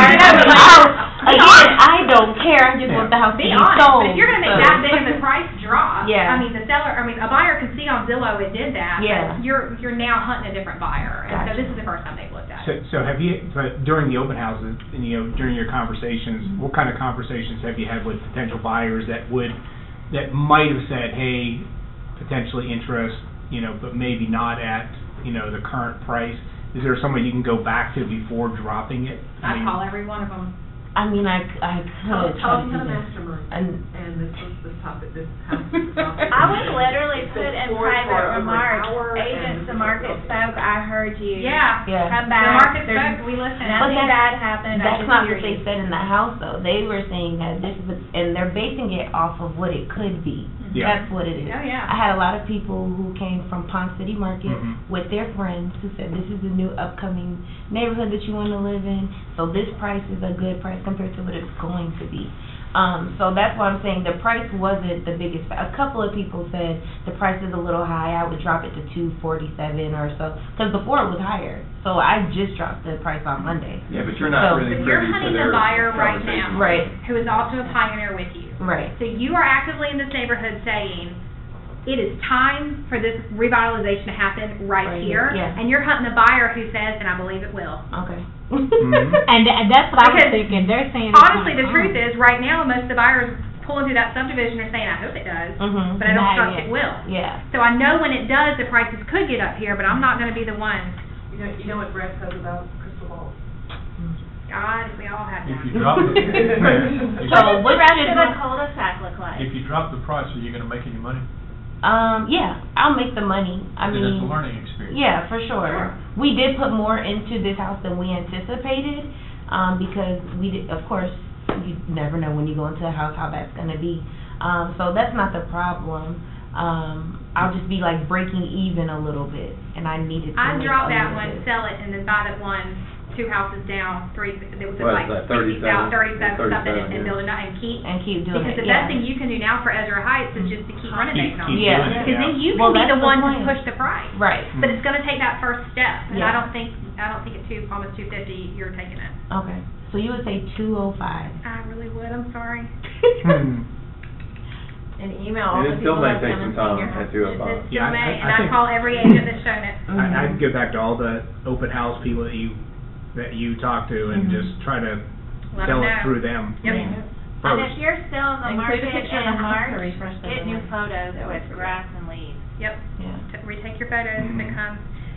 The old adage of just take it off the market and relist it, by the way, does not work, and here is why. Love it or hate it. If your property isn't off the market for thirty-two days, Zillow still shows what it was. So unless you're willing to sit off market for thirty-two days, and that Right. is what it takes. And thirty-two days from the time Zillow realizes it's not on the market, and we feed directly to Zillow, but they also pull from like a thousand other ListHub places, and so you have to really let it cycle through the Zillow cycle, because otherwise if you put it on in fifteen days or twenty days, Zillow will still show previous price Mm-hmm. and previous, I mean, everything. So unless you have a seller willing to wait that long, Mm-hmm. the, the old, just pull it off and relist it, it, it's just not effective any longer. And that's also a conversation you have with your sellers when you talk about pricing it right. Okay, so as new agents, of course, we're gonna do your method. Who should we run it by before we actually go to our listing presentation? I would go pop into any agent here who's been in production for a while or does a lot of business. Mm-hmm. Just to see Any of them. how close we are. Keller Williams is so great about open door mentality that I would just flop down in any, any agent's office, I would say, do you have five minutes? Can I buy you a cup of coffee? I wanna, I wanna run this by you. Okay. Yeah. Or if you wanna get better at it, go pop into those agents who do a lot of listings and say, can I just come with you? I wanna privately CMA your listing myself, and then once you take it, I don't, I don't need to sit through the presentation with you, but once you take it, can I see how close I came to what you listed it as? That sounds cool. I mean, that, that's a great compare. What'd you pull versus what they pull? And if you're off, ask them, well, why did you price it here? Help me, help me learn, help me learn. Yes. And also go to some open houses and just eavesdrop on conversations. Like, listen to what the agent holding the house open is saying to the buyers.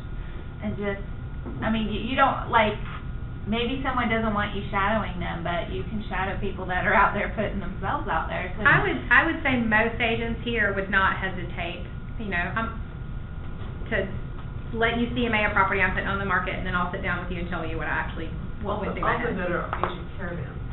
Yep. Get to know your areas. I preach this and preach this when I teach buyer classes, it's just as important on the listing side. Get to know your areas. Go make time block into your Thursday schedule that you're gonna go see everything that's come on the market in the last week in four subdivisions, and just start with four subdivisions. And then once you know that subdivision like the back of your hand, go see a different subdivision. Cause you will get to where you know, you'll get a call in a certain subdivision and you already kind of know what those homes look like. Who the builder is. What things make buyers buy in there. Why? Because you've been in those homes. Don't wait to get a buyer to go see homes. Spend your time doing it before you even have a buyer or a seller. Because I can tell you right now, there's about six subdivisions out in my area. If you call me today, I can probably price you and never have walked in your house. Why? Because I've been in every other house. Every other house in that neighborhood several of them I've sold. But that takes time and effort. And a lot of times as agents, especially when we're new, we don't want to take that time and effort because we don't perceive that as talent building, and it really is. You're much more effective on pricing your home when you've seen everything around it for the last six months. Not just pulled up your absorption rate, not just pulled it up for the first time, but you've been in that neighborhood for six months checking out the homes. So you're basically saying we have to narrow down the area that we're gonna work in? I mean, as a new agent, you would think like, well, I'm gonna just take whatever I get. Oh yeah, no, just start somewhere. Just just start somewhere. I feel Yeah, like- you can take a client from anywhere, but start somewhere. Start with your neighborhood that you live in. Cast your wi- your net a little bit wide and deep. Start pulling up subdivisions in the elementary school around where you live. And then if you get a buyer not anywhere near that, it's okay. But start getting to know the homes around where you are. That will start you learning what houses, you know, what kind of features should you expect to see at a million dollars versus five hundred. You'd think it'd be obvious, it's not. I think your business drives you. I mean, you It know, does drive you. My buyer clients and stuff took me to a territory that I kind of knew about, but I got, you know, a lot more information about, and so that area has become one of the areas and stuff that I'm kind of focusing on now, Mhm. because I spent time with them and learned about that territory, so I think you your might business find as you get to know things, you don't want to be in I an know, area. right? I mean, I I really don't really want to be there, but I mean, the price points are excellent, and, you know, that's, Yeah. okay. But part of pricing your home is knowing its competition, not just pulling up right now what's happening on CMA, but knowing what's been going on. So get out there and go see them. Mm, mm, mm. I'm ready. Especially if you're a new agent yet, you don't have anything else to do. Go look at homes. I mean, I, our business is so simple, it's stupid. It's so simple, it's hard. Go look at homes. Call your clients. Get And your on database every day. your Keller Williams mobile app, you can tap the, um, Ask like Kelle on the what to do. weekend, Gotcha. You can tap the open house app, and it'll tell you around where you are, where they're gonna be open houses on the weekend. So it's doing the research for you. Go to the open house, and if it's not a million buyers in it, ask that listing agent, how'd you price this home? Don't do it combatively, not, I don't like where you're, but I'm a newer agent, can you help me? How'd you price this home here? What comps People did will you help you if they're People will not, help you. if you're not annoying and if they're not busy. Yeah. Any other questions? Otherwise, Cause I have, I have a, something. go. Okay, did it, uh, so did anybody hear from Maya? No. I thought she said on Monday that she wouldn't be here. No, but we heard a lot from a red phone that was here earlier. Yeah. We, stop. So, we have